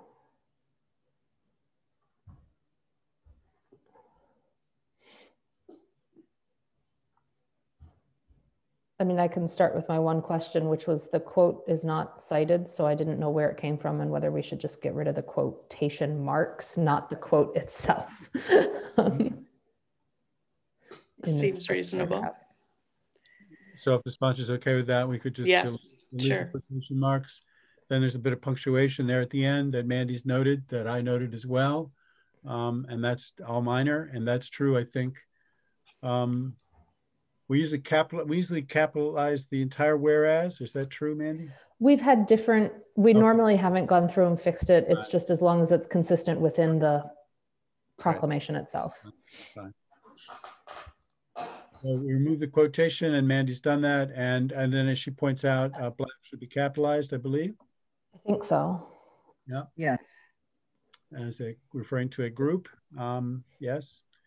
And uh, Agreed. Agree. is just the, the, the, our little rules about punctuation and, uh, uh, The ands were missing. right. And there's no comma, but that's it, right? I think it's true all the way through. Yeah, the, the whereas is needed commas after them and the and. No, Yeah, the I- whereas is a semicolon, isn't it? And then a comma. No. Oh, dear. We do such fun work. I I apologize to both to, the- to the sponsor and to the public. but this is What we do, um, at times, that's not the only thing we do, but we do do So I think the and does not get a comma after it, the whereas does. That is correct. That is correct. And so Mandy has it right. Um, and train changes, you know, um, Consistency for the semicolon. exactly tracking my changes all the way, Andy has his hand up. please.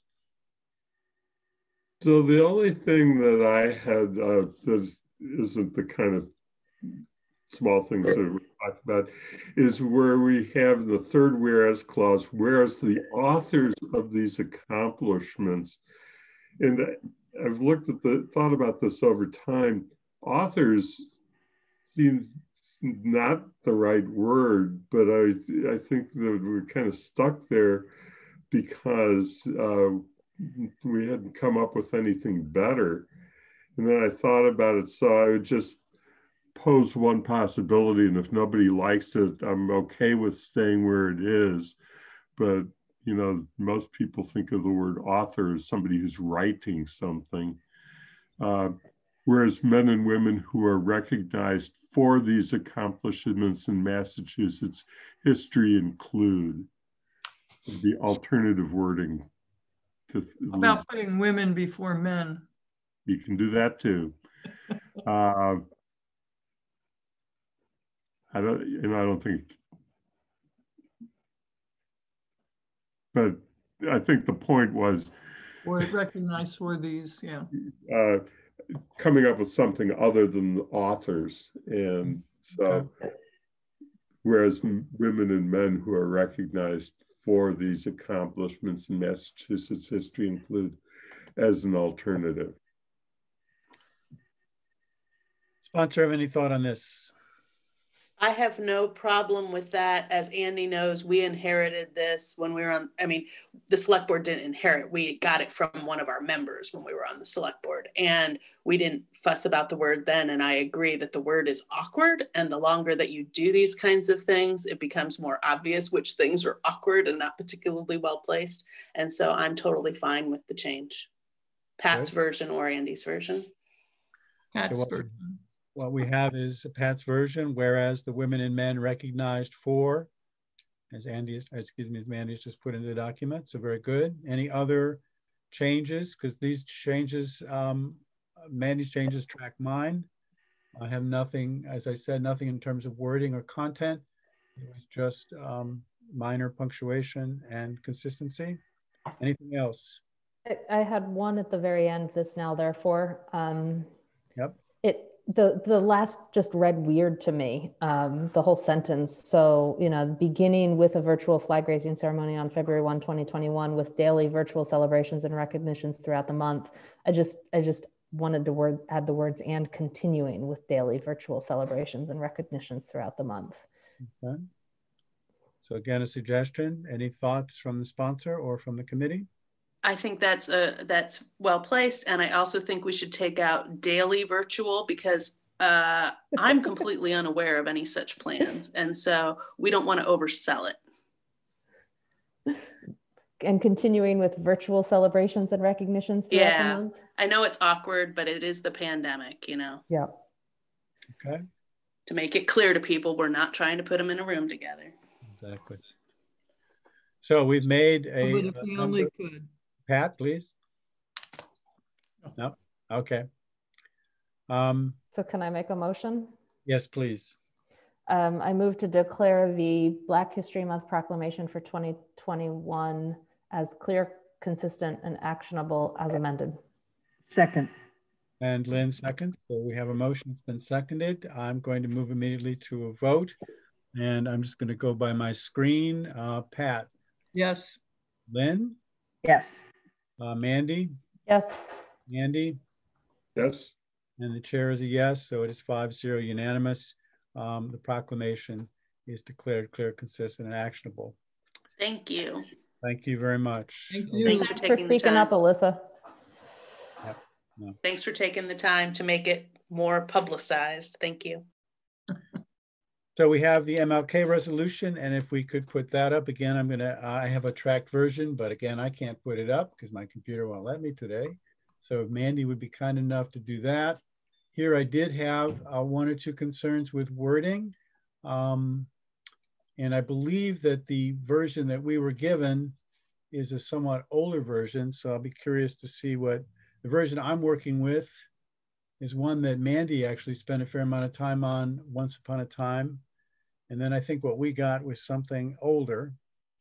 So I'm curious to see what, what we got in front of us, what she has. It looks like what I have. Um, yes, proclamation has an A, that would be nice. I- um, Our uh, council uh, clerk caught that, thank goodness, when it went public. That the GOL document did. Um, I have no changes and Mandy has uh, caught the one in the third whereas. There's a slight uh, problem with punctuation. She's caught that. Again, the ands do not have commas. Uh, sorry, Pat. Um, so we I take, don't. those out. Um, the, sorry, Mandy? I was gonna say the fourth one is where I, you see some things here. Um, I tried to make it one sentence. Because that's what we try to do, one sentence per whereas. Yeah, that's George's idea. Yeah, and- and, and that is um, what we had actually in um, the version I'm looking at. Um, whereas that is a single sentence and we break it. And then another whereas, whereas Dr. King once said, Oh, so you, well, I- broke it here? That's not- That, that's what I did, but let's look at what you have. Um, maybe we can leave it as a single unit. I know some people don't mind it, so. Uh, souls I purpose path to happiness and greatness. Once saying is what you suggested, okay? That's okay. Life's most persistent urgent question is, what are we doing here? Which led communities across the country. Um, I can live with that. In my version, I broke it up into two, but I have no problem with that.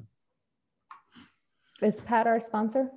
Yeah, Yes, that's fine. Pat, Okay, is okay with that? Right, okay. And you don't have to ask about the commas and all that. Just, of course they're fine. I, I like doing that, Pat. It's- I know. Um, and so the next whereas, I have no problem, and nor does Mandy. Again, people just speak up here. If you, if we're missing something, In the now therefore, it needs to say the January 15th, January 18th is the actual holiday, but there, the bell ringing is happening on the 15th.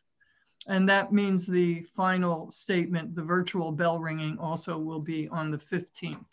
So are we declaring the 15th the day to recognize Dr. Martin Luther King or keeping that the 18th and doing the bell ringing on the 15th? Are they both 15? Well, the 18th is his actual, the actual holiday, the actual think we need to leave that as 18th. birthday. 15th is his birthday, correct? Yeah. And the 18th is the actual holiday. Wait, So, Now I'm really confused. right, He was Um, born on January 15th, and this year it coincides, the bell ring the happens to fall on his birthday. Because if, it- it- because if the holiday was Monday, the 15th, it would be falling on a different day. So the holiday is the 18th, but he was, I don't, I guess the question is, which dates do these read? The bell ringing is the 18th on Monday, or is it no, on the his Bell birthday? ringing is on the 15th, on his birthday. because town is closed, so there's nobody to ring the bells. Okay, so that's on Friday, the 15th. Yes, yes. But are we So- proclaiming the 18th as, The Would day we say I don't know Would which the way. Amherst Town Council proclaim January 18th, 2020 as the holiday recognizing? Uh, And I don't like that wording. I, I don't know.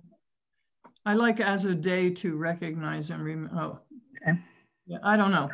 I, I, I, I don't like the word holiday either, but I'm trying to distinguish what it is. yeah, yeah, no, I understand that. I, and, I mean, really, we don't want to proclaim holidays or declare holidays. I mean, at least this one, because it's a federal holiday. Right. Um, what we're proclaiming is, uh, you know, the celebrating the day, recognizing, remembering Dr. King. So, I Um, think we keep the 18th as the day because that's the federal holiday. right, And then the 15th is the ceremony. And you can see I tried to reword it um, based on my experience with the Human Rights Day proclamation, where that committee did not want it advertised as a big gathering. Yeah. Um, and so, you know, this one had a please join us for it. Um, is it going to be a virtual bell ringing?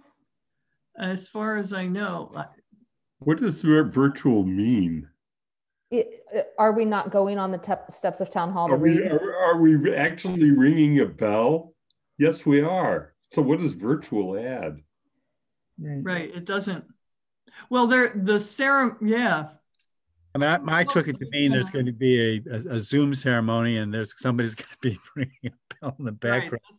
I, I, but this sounds like we're actually going to gather. I apologize, I don't know. So are, we- we're not gathering on the steps of town hall? No, we're not. Oh, okay. So Well- then, I'm not sure Pat knows for sure. No, I apologize. I, I That's all sort of went with what was sent to me. Um, I don't It's- believe. It's possible, or, or Lynn, you think it would be possible or not? Uh, I personally think it's in- inappropriate for us to encourage anybody to gather. Right. Okay, then let's Given get the- out. yeah. okay, so we're getting rid of that one. And then we can do the, please join us in a virtual ceremony Right. and reading of the proclamation. and reading of the proclamation, which Which will would be- include a bell ringing or something? Well, maybe we'll just leave the bell ringing out, which will be Yeah. held on that date. And if there's a bell ringing, fine. If there isn't, fine. But it's mainly that it's going to be a virtual event and it will involve reading the proclamation. Please join us in a virtual cer- ceremony and reading of the proclamation. Okay. in honor of Dr. Martin Luther King on and it will be Friday, on January Friday, January 15th. fifteenth at four thirty PM. I move that we adopt the proclamation. Wait, Before you go, um, getting back to that uh, last whereas clause question in the 18th, and the other thing you could do is now therefore with the town council, recognize that January 18th is a holiday or a national holiday to recognize and remember. Um, we don't proclaim it, but we recognize that it is the national holiday. I think we've always proclaimed it in accordance with the national holiday. Right. Right. We're, we're, yeah, Okay. yeah. let's leave it alone so we can vote on this. Well, Sorry, okay. Andy. it's all right. No, that's fine. Oh, this should probably read Reverend Doctor That to is be correct. consistent. Thank Yeah. I'd like to move that we adopt, we declare the proclamation regarding Martin Luther King Day clear, consistent, and actionable. Is there a second? Second. Andy seconds, and Lynn has made the motion. Um, this as amended, as revised here today.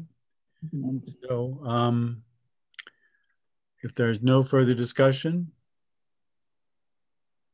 I'm going to move directly to vote, and I'm going to begin this time um, with Lynn Aye. and Mandy. Aye. Andy, Aye. chair is an aye. Patricia? Aye. All right, it's five zero, unanimous. Declare this proclamation, the MLK proclamation to be clear, consistent, actionable. Mandy, as you've done many, many times in the past, you will um, send this both to uh, Athena and a copy to me. Yep. Thank you very much. All right. Um, it is now 1223. Um, we're clearly going to run over, I think, but I think, um, and I'm, this is open to discussion. It's worth um, our commitment of time and energy now so that we can present uh, a candidate to the uh, council at the next council meeting. So um, I'd like to open the discussion uh, of the three candidates to the committee with the hope that we can come to a vote um, sometime in the next 30 minutes or maybe even less, um, but depends on how the discussion goes. So that's where I'd like to go next um, in terms of the agenda. Seeing no objection, that's what we're going to do. And I'm going to open the floor uh, to the committee and uh, anyone who'd like to begin the discussion. Again, we've been blessed with three remarkable candidates and uh, you always wish there were three openings, uh, but they're not. There's only one. Um, I believe we have agreed, my understanding is we've agreed to make this a position for one and a half years. So um, it would be, so it would terminate, it would be a position that would uh, end in June, help me here, June 20, what would it be? 2023? Is that right? 2022. 22. So we're talking about um, whatever we finally decide today in terms of the individual, the term would end in June 2022. It'd be a year and a half. Anyone like to start the discussion?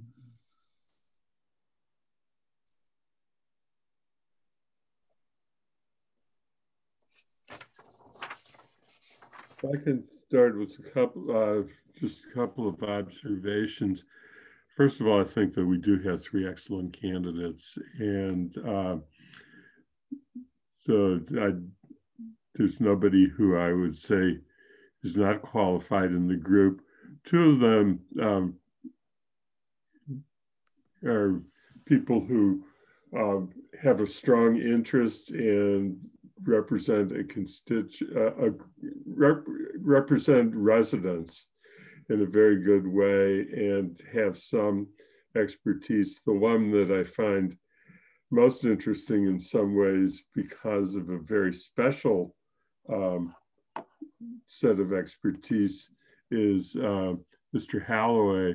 And it is because of his education background and just recognizing that um, one of the things that um, uh, Mary Lou Talman had brought to the committee was her understanding of the education process and her background as an educational administrator and former member of the school committee and somebody who had spent a lot of time working on school budgets and um, that contribution to the committee was valuable because um, she had such an expe- exceptional interest and background in the area. And uh, that's um, sort of the one thing we're missing by not having her uh, as a member of the committee, though, I think that it was, you know, we made the right decision last time, not going back on that, but Mr. Holloway sort of brings that back to the committee if chosen. But uh, I think that all three are excellent candidates.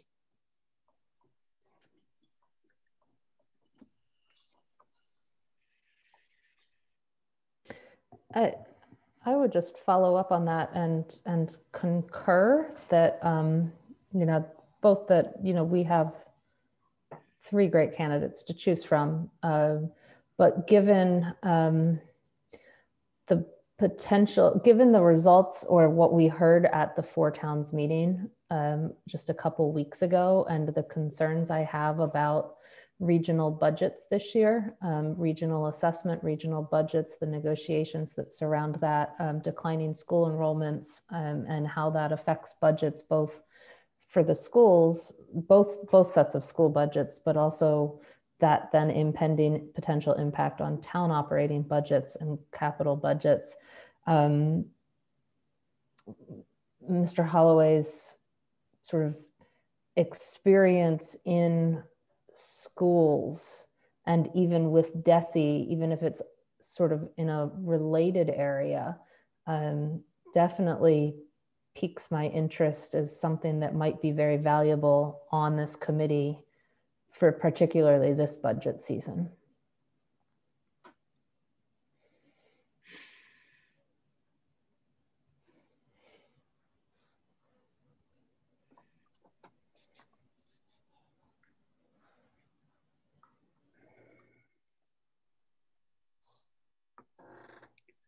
Uh, I agree about the strengths of the candidates. Um,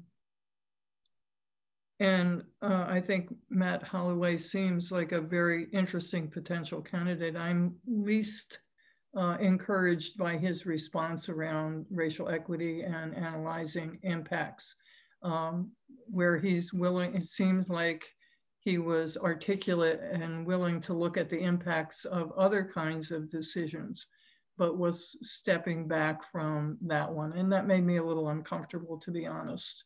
Um, I think he may be the strongest candidate, even with that. Um, but I'm that's where I'm hesitating.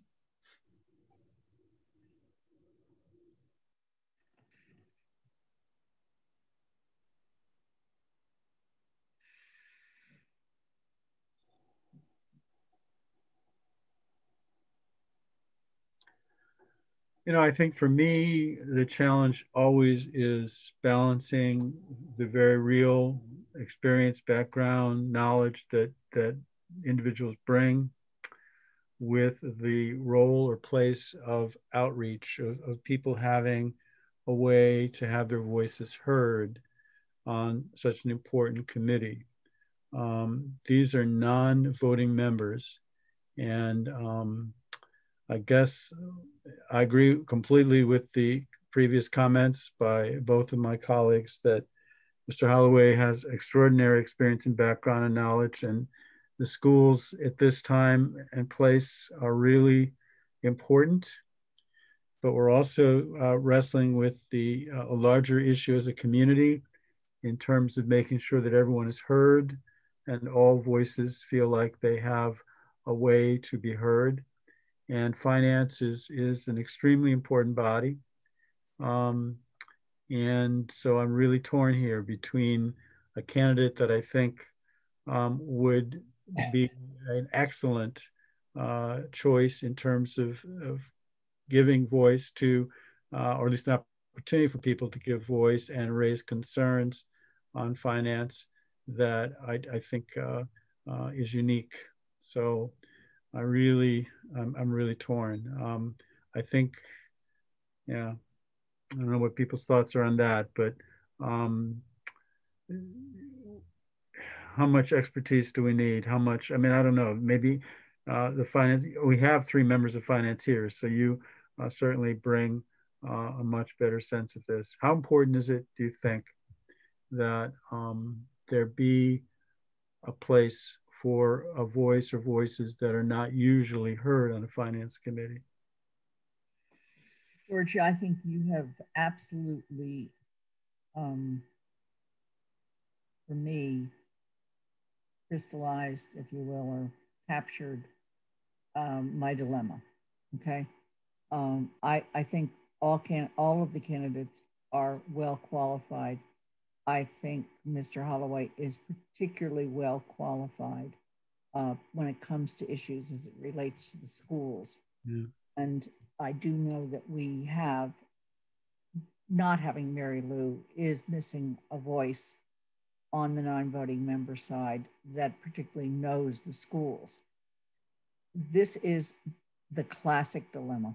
It is so much of an issue of do we take um, someone who may have um, ability to relate to other parts of the population and bring them on the committee, even though they don't have the background around schools, which, by the way, nobody else on the finance committee has that level of background. Nobody. I mean, Andy is closest, and it's because he's worked on the town council. So uh, you, you just captured it. It's an issue of whether or not we break with going with, frankly, the person who is probably most qualified for immediately being able to ramp up to the issues. And that is, in my mind, clearly Matt Holloway versus bringing in someone who has relationships in communities that we don't necessarily have the outreach that they do. I'm, I'm torn. And in a way, it also it, it's it's deja vu all over again. Um, this was a very similar argument that I was on the other side of last time.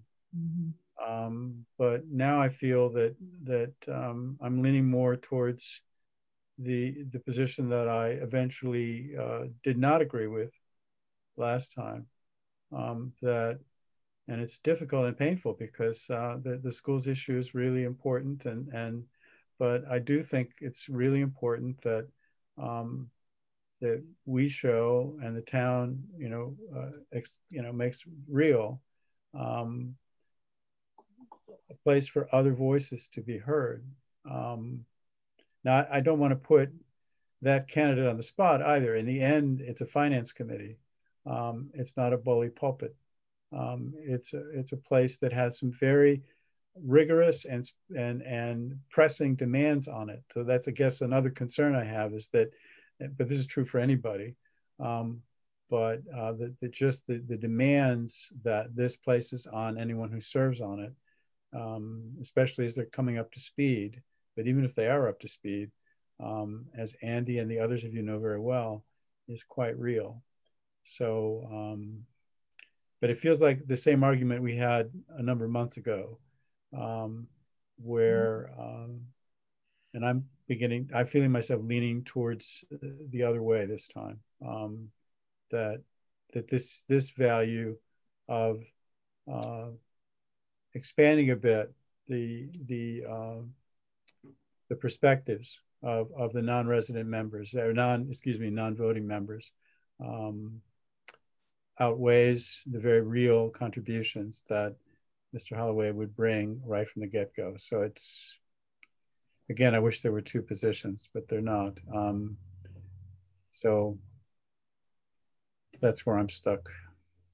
And I'm leaning toward um, favoring uh, Ms. Scheffler because of that argument.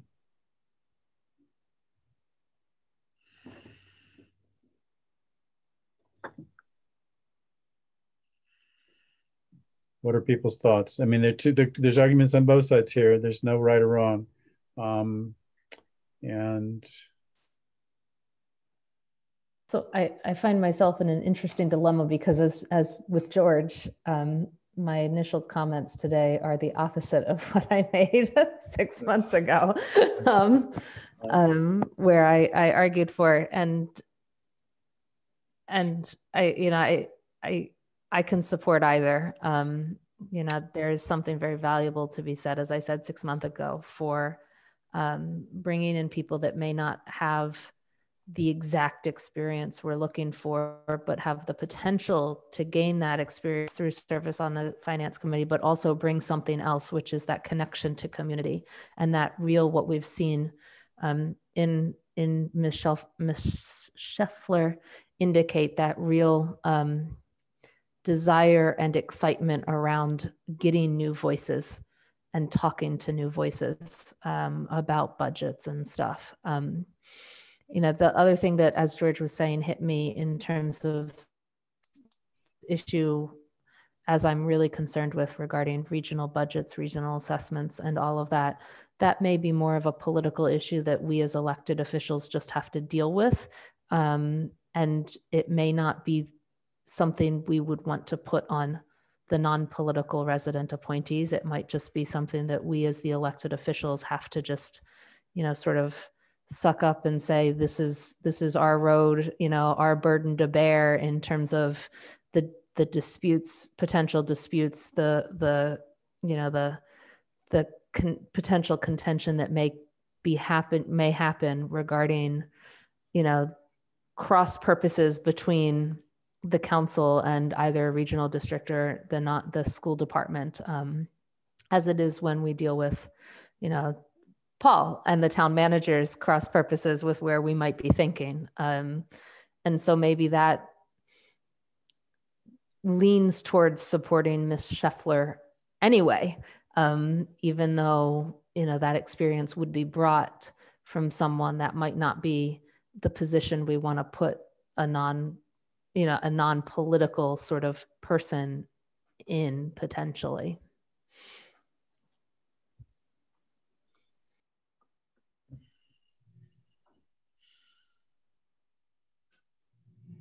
I mean, I noticed that both of the candidates, it seems that are, are sort of in a, sense that the, that the one and two position um, are new to town.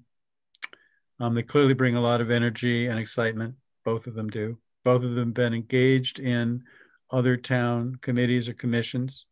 So right from the get-go, they've been interested and curious about Amherst, wanting to be engaged. Um, so in that regard, that certainly stands out they both equally represent those values, um, which I think are extremely important. Um, so, and I guess I, I, I, I yeah, yeah.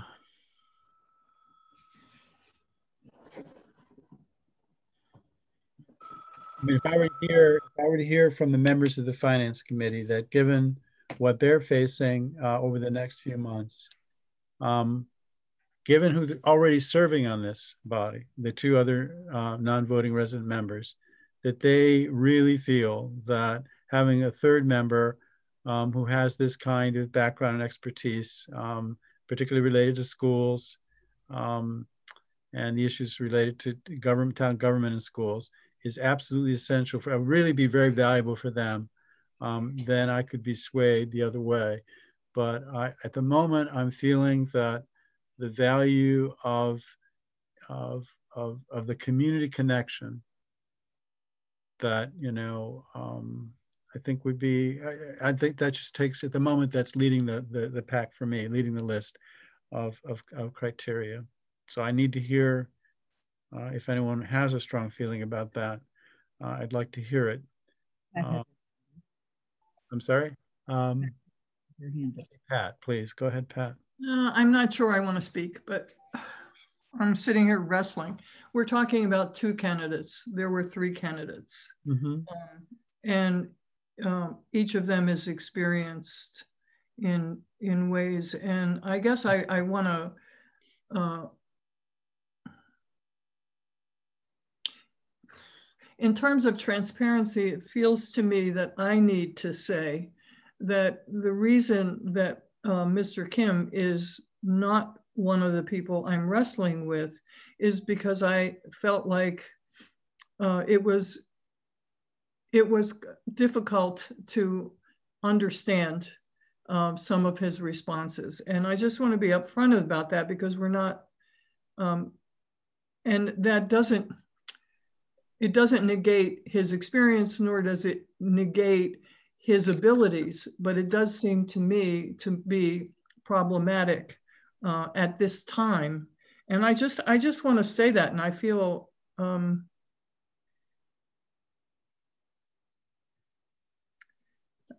I don't know. I mean, I,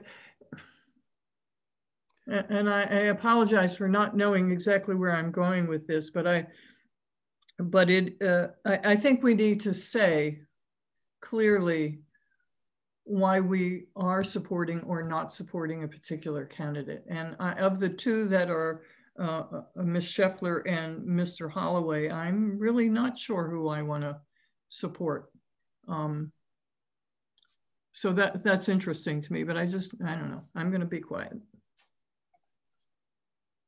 I think that what uh, you can go, Andy. Um, thinking about uh, what Mary Lou is doing on the committee and why she was um, valuable is that we get submitted to us a budget from the school committee that um, is a budget about educational um, administration. And she had experience in that and was able to ask interesting and hard questions. And I think that because none of us on the committee have been in that role before, it makes it more, you know, we don't have anybody who has that background. I think that uh, Holloway brings that, plus he's parent of a child who's coming into the school uh, system, so he has an interest in it. Um, Ms. Scheffler, I think, has a lot of strengths that have been put forward very, uh, very articulately too she doesn't have that ability to ask the hard budget questions that none of us um, really have an equal plane on, but um, she certainly, I think, has a touch to the community in a different way and has shown an interest in becoming involved in the community. So it's it's a hard one. I I can see both as contributors. I I just wanted to, you know, Pat Pat said, you know, in the interest of transparency, um, you know, while Mr. Kim is quite qualified, I wasn't convinced with the answers given that um, that that outreach that Ms. Scheffler talked about loving and being able to do was similar that that that Mr. Kim could do something similar or bring something like that to it. And um, similarly, you know, the experience that he provides is much different than the experience that Mr. Holloway would provide. Um, and I just find Mr. Holloway's experience more relevant at this point in time. Um, that there is also the concern that um, there seemed to be a lot of concentration from Mr. Kim on building a new school and large capital projects instead of the overall sort of picture um, for the town. Um, and I, I, think I'm looking for someone on the finance committee from a resident point of view that ha- that has less um, one, I guess, one alley. Um, and, and that just came across to me in his answers as being much more of the focus. And I'd like someone who's focused a little more broadly. I still don't know. Um, I'm between Ms. Scheffler and Mr. Holloway, though.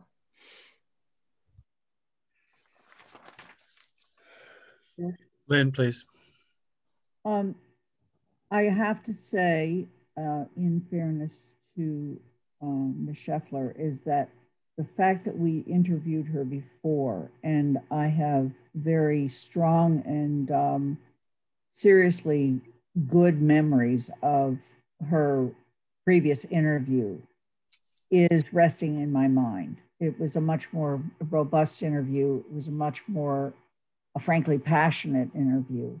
Uh, and I got a much greater sense of her ability to look at financial issues and um, tear them apart. But all of that was from her previous interview. It was not from this interview. Uh, having said that, uh, you can't dismiss what you've already seen in a public meeting about someone from the past.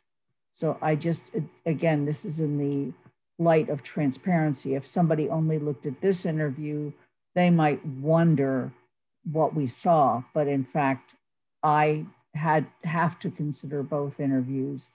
Um, Mandi Jo actually brought up the previous interview and something was stated during that previous interview. So I just want to, for the sake, sake of the public discussion, recognize that there was a previous interview and uh, there are things that at least I and I think other people on this committee saw during that previous interview. That in no way diminishes the um, school knowledge that Mr. Um, Matt uh, that Matt brings. Um, I I hesitate to say this. Um, I've never been on a school committee but I have a doctorate in education and took a course in school finance. And if you want me to tear, tear apart the school budget, I will. I'm hesitant to do that because we have a superintendent of schools and a school committee that comes to us. When we're ready to analyze that school budget, I'll take it on. Okay. You heard that here first, folks. So, Thanks. and it was recorded, so we can we can play it back at some point later.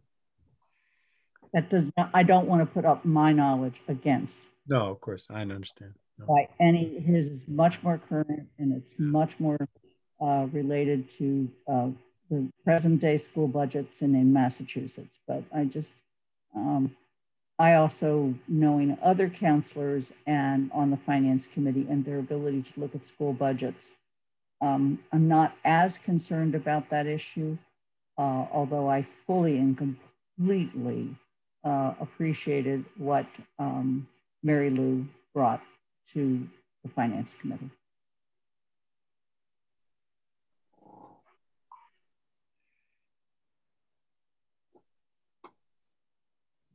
So um,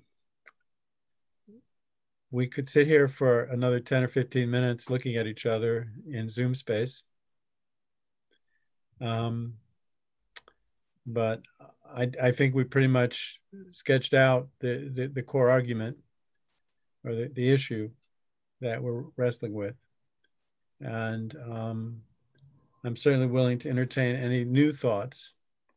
But my sense is that we are, and I think Lynn put something very important, uh, it's true for me, that a previous interview is also playing a role here and acknowledging that at least uh, one of the interviewees was was it was 7:30 in the morning, um, and uh, there was also sounds in the background that might explain why she hadn't had much sleep in the last 24 hours. So it clearly was not the, the interview that we had before, but I think there's some very obvious reasons why that's the case. Um, so I'm still leaning toward um, Ms. Scheffler is I haven't heard anything yet that that leads me away from that. Um, though I still wish we had two positions to fill. We don't.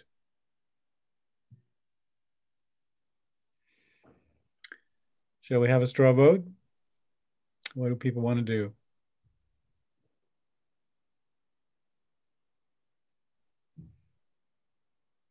Think we should go ahead and vote. So I'm going to um, make the motion that we appoint or recommend, excuse me, thank you. Watch my language. That we recommend to the town council that the town council appoints uh, Jane Scheffler to a period of one and a half years that will um, end in June 2022 uh, as a non-voting uh, resident member of the town council finance committee. Second. So a motion has been made and seconded. Um, any further comment, thought?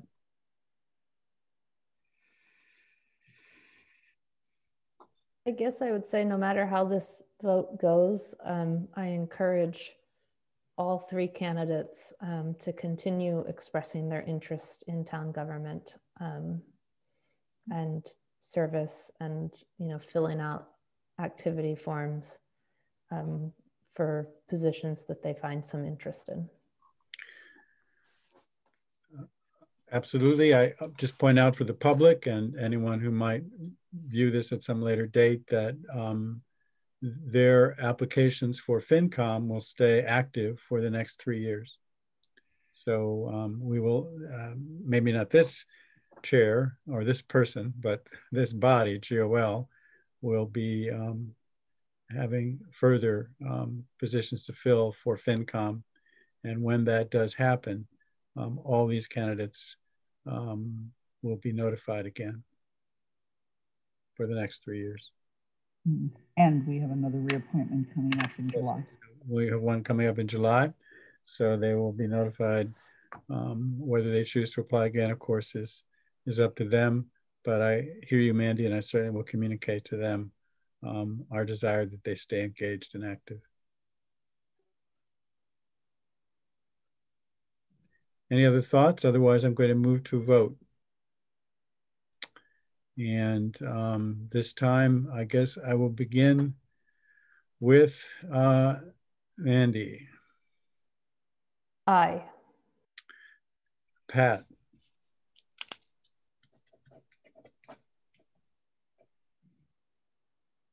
I can come back to you, Pat, if you wish. You don't, if you want to. Um, I am sorry, I didn't realize I was muted. Nay. Nay, okay. Uh, Andy. Aye. Um, Lynn? Aye. Um, and the chair is an aye.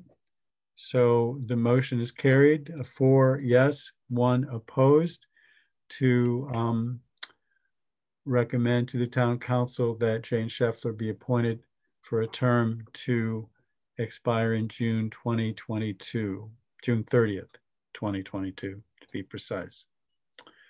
Um, Pat, you can reach out to me later if you wish, but you also can make it now. Is there something in particular you'd like me to say about your nay vote, or would you like it simply to be registered and that's sufficient? Uh, I think that's sufficient. Okay, fine. At this time, if I don't, I really don't think there's. I understand. That's fine. All right. Um, I'd like to adopt the GOL calendar. Um, you've had a chance to look at it. We talked about it last time. I haven't made any real changes. I think the one change I made was simply to, to, to suggest that the January uh, date uh, in uh, 2022 is, is suggested. It's just a, it's an option. Um, and obviously we can change the calendar at any point. Um, so I would just like to adopt it and uh, send it on to Athena for uh, posting as of the new year. Uh, there's no super rush, but we don't meet again until January 6th. Um, so I'd like to um, have that voted on today if people are amenable. I move to adopt the proposed GOL calendar for 2021. Second. And Pat seconds. Okay, I'm going to go directly to a vote. Um, Lynn? Aye. Andy? Aye. Uh, Mandi? Aye. Pat? And I think I heard aye, and the chair is an aye. So it's 5 0, um, unanimous. We're going to adopt that calendar. I will send it to Athena and it will get put up uh, in January as our calendar for 2021.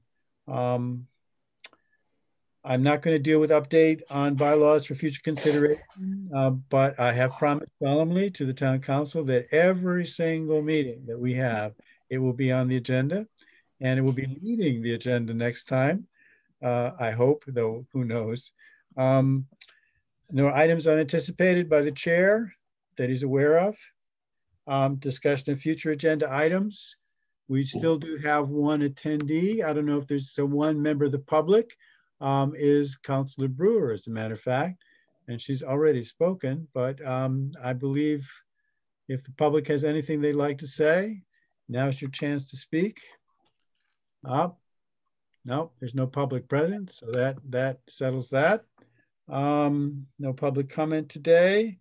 future agenda items. Um, as I said, uh, we will continue to uh, do the update on bylaws for future consideration. Um, we've dealt with both of the proclamations, so that will not be an issue. We'll be returning to the timeline. Um, I don't know how people want to handle that. Um, it seems like we just have a lot of talking to do, a lot of thinking. Um, we have four different pressures or four different sort of masters that need to be served, and it's getting challenging to see how we can concoct one. So perhaps we'll just leave that as that will be a discussion item on the agenda is the timeline following up on our discussion today. Um, anything else that, well, Lynn, do you see anything to us? Are we going to see yeah. the um, there was a two things. First of all, we are, I believe, required by our own rules of procedure to review them annually. And I think we need to find time to do that before our term expires. And the second is that uh, there was a memo from the town manager yep. the town council that will appear on the next town council agenda on the 21st with potential referral to GOL. And it was to develop guidelines for how to do 8.1. I'm sorry to do manage 8.1, which is when residents would like to request a meeting with a elected body. Okay.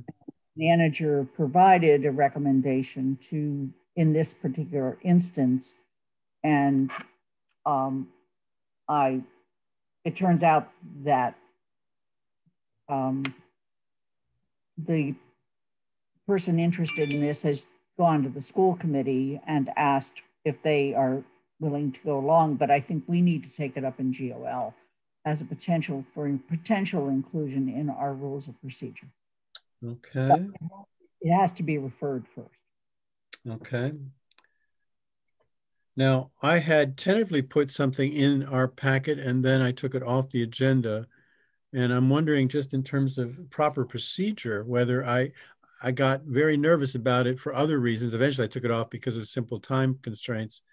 But this was your, you had asked each individual councilor to respond to you COB, and I had already put it on our agenda for us to talk about as a group.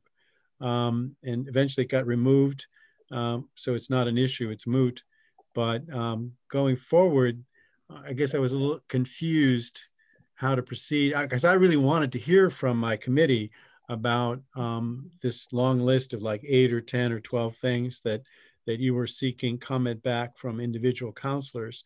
But perhaps that was not appropriate that um, uh, for us to talk about it as a committee while you were still soliciting individual comments COB. Um, any thoughts, anyone, any thoughts on that? Um, and it didn't come up today because I took it off, but uh, if this had been a normal meeting, it would have been on there and I would have had all kinds of things I wanted to talk about and say.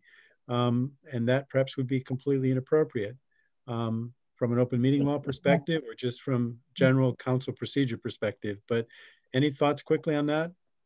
George, just as an aside, um, are relevant to the memo. Depending on what the council does with it, it each of those issues would then go to the respective committees. And then the respective committees can discuss them and recommend back to the council, hey, we think you should drop this item. Here's a revision or whatever, or, you know, whatever the case may be. So in terms, I, I'm also out of time. Uh, in terms of um, having to give the feedback, it, whether or not that happens today, this is not the last pass. Right. right. Exactly. the best to put it. I felt premature, I guess. When I thought about it afterwards, I thought I'm really jumping the gun. I should just wait. And so it got taken off anyway, but mm-hmm. um, I'll wait until it's referred to us and then we can take it up. That makes sense. You mentioned review of procedures, Len. Would you just clarify for me a moment? As, so we're doing the timeline. We're going to do the town manager memo if it's referred to us on 8.1. Um, and I guess what are we doing when we uh, review? I mean, just going through what? Help me here. Oh, I'm in, uh, the, I'm in the process of trying to come up with a list of everything we need to do between now and the end of December 2021. And I believe if we check the rules of procedure, we Right. review them once a year. And so Good. that is a GOL responsibility. So our charge, it's not in the rules, it's in the GOL charge is to annually review the town council Thank you. Procedure. right, Thank you. I just looked up the charge. Right, it's in, right, it's in our charge. Be good for me to read that occasionally. Thank you. Okay. So that's three items right there. Uh, and definitely review of, our- of the rules procedure will be uh, on the agenda. Um, and the timeline will be on the agenda. Anything else that people would like to have on the agenda or foresee coming to us on January 6th? I'm not going to invite Paul. I don't see any point at this, at this stage. We still have some more discussing to do. But at some point, I would certainly invite him back. Um, just FYI. Um, and if he wants to, then he'd be, he'd be welcome to come. All right, that's all I have. Um, we'll see you all Monday night. Um, thank you all for your hard work, and I, I will reach out to the Thanks, uh. UEs and and tell them what has been resolved, and I'll prepare the report for Monday night. So the meeting is adjourned officially at At 103. 103 is what I have. Thanks. Thank you. See ya. Bye bye. Bye.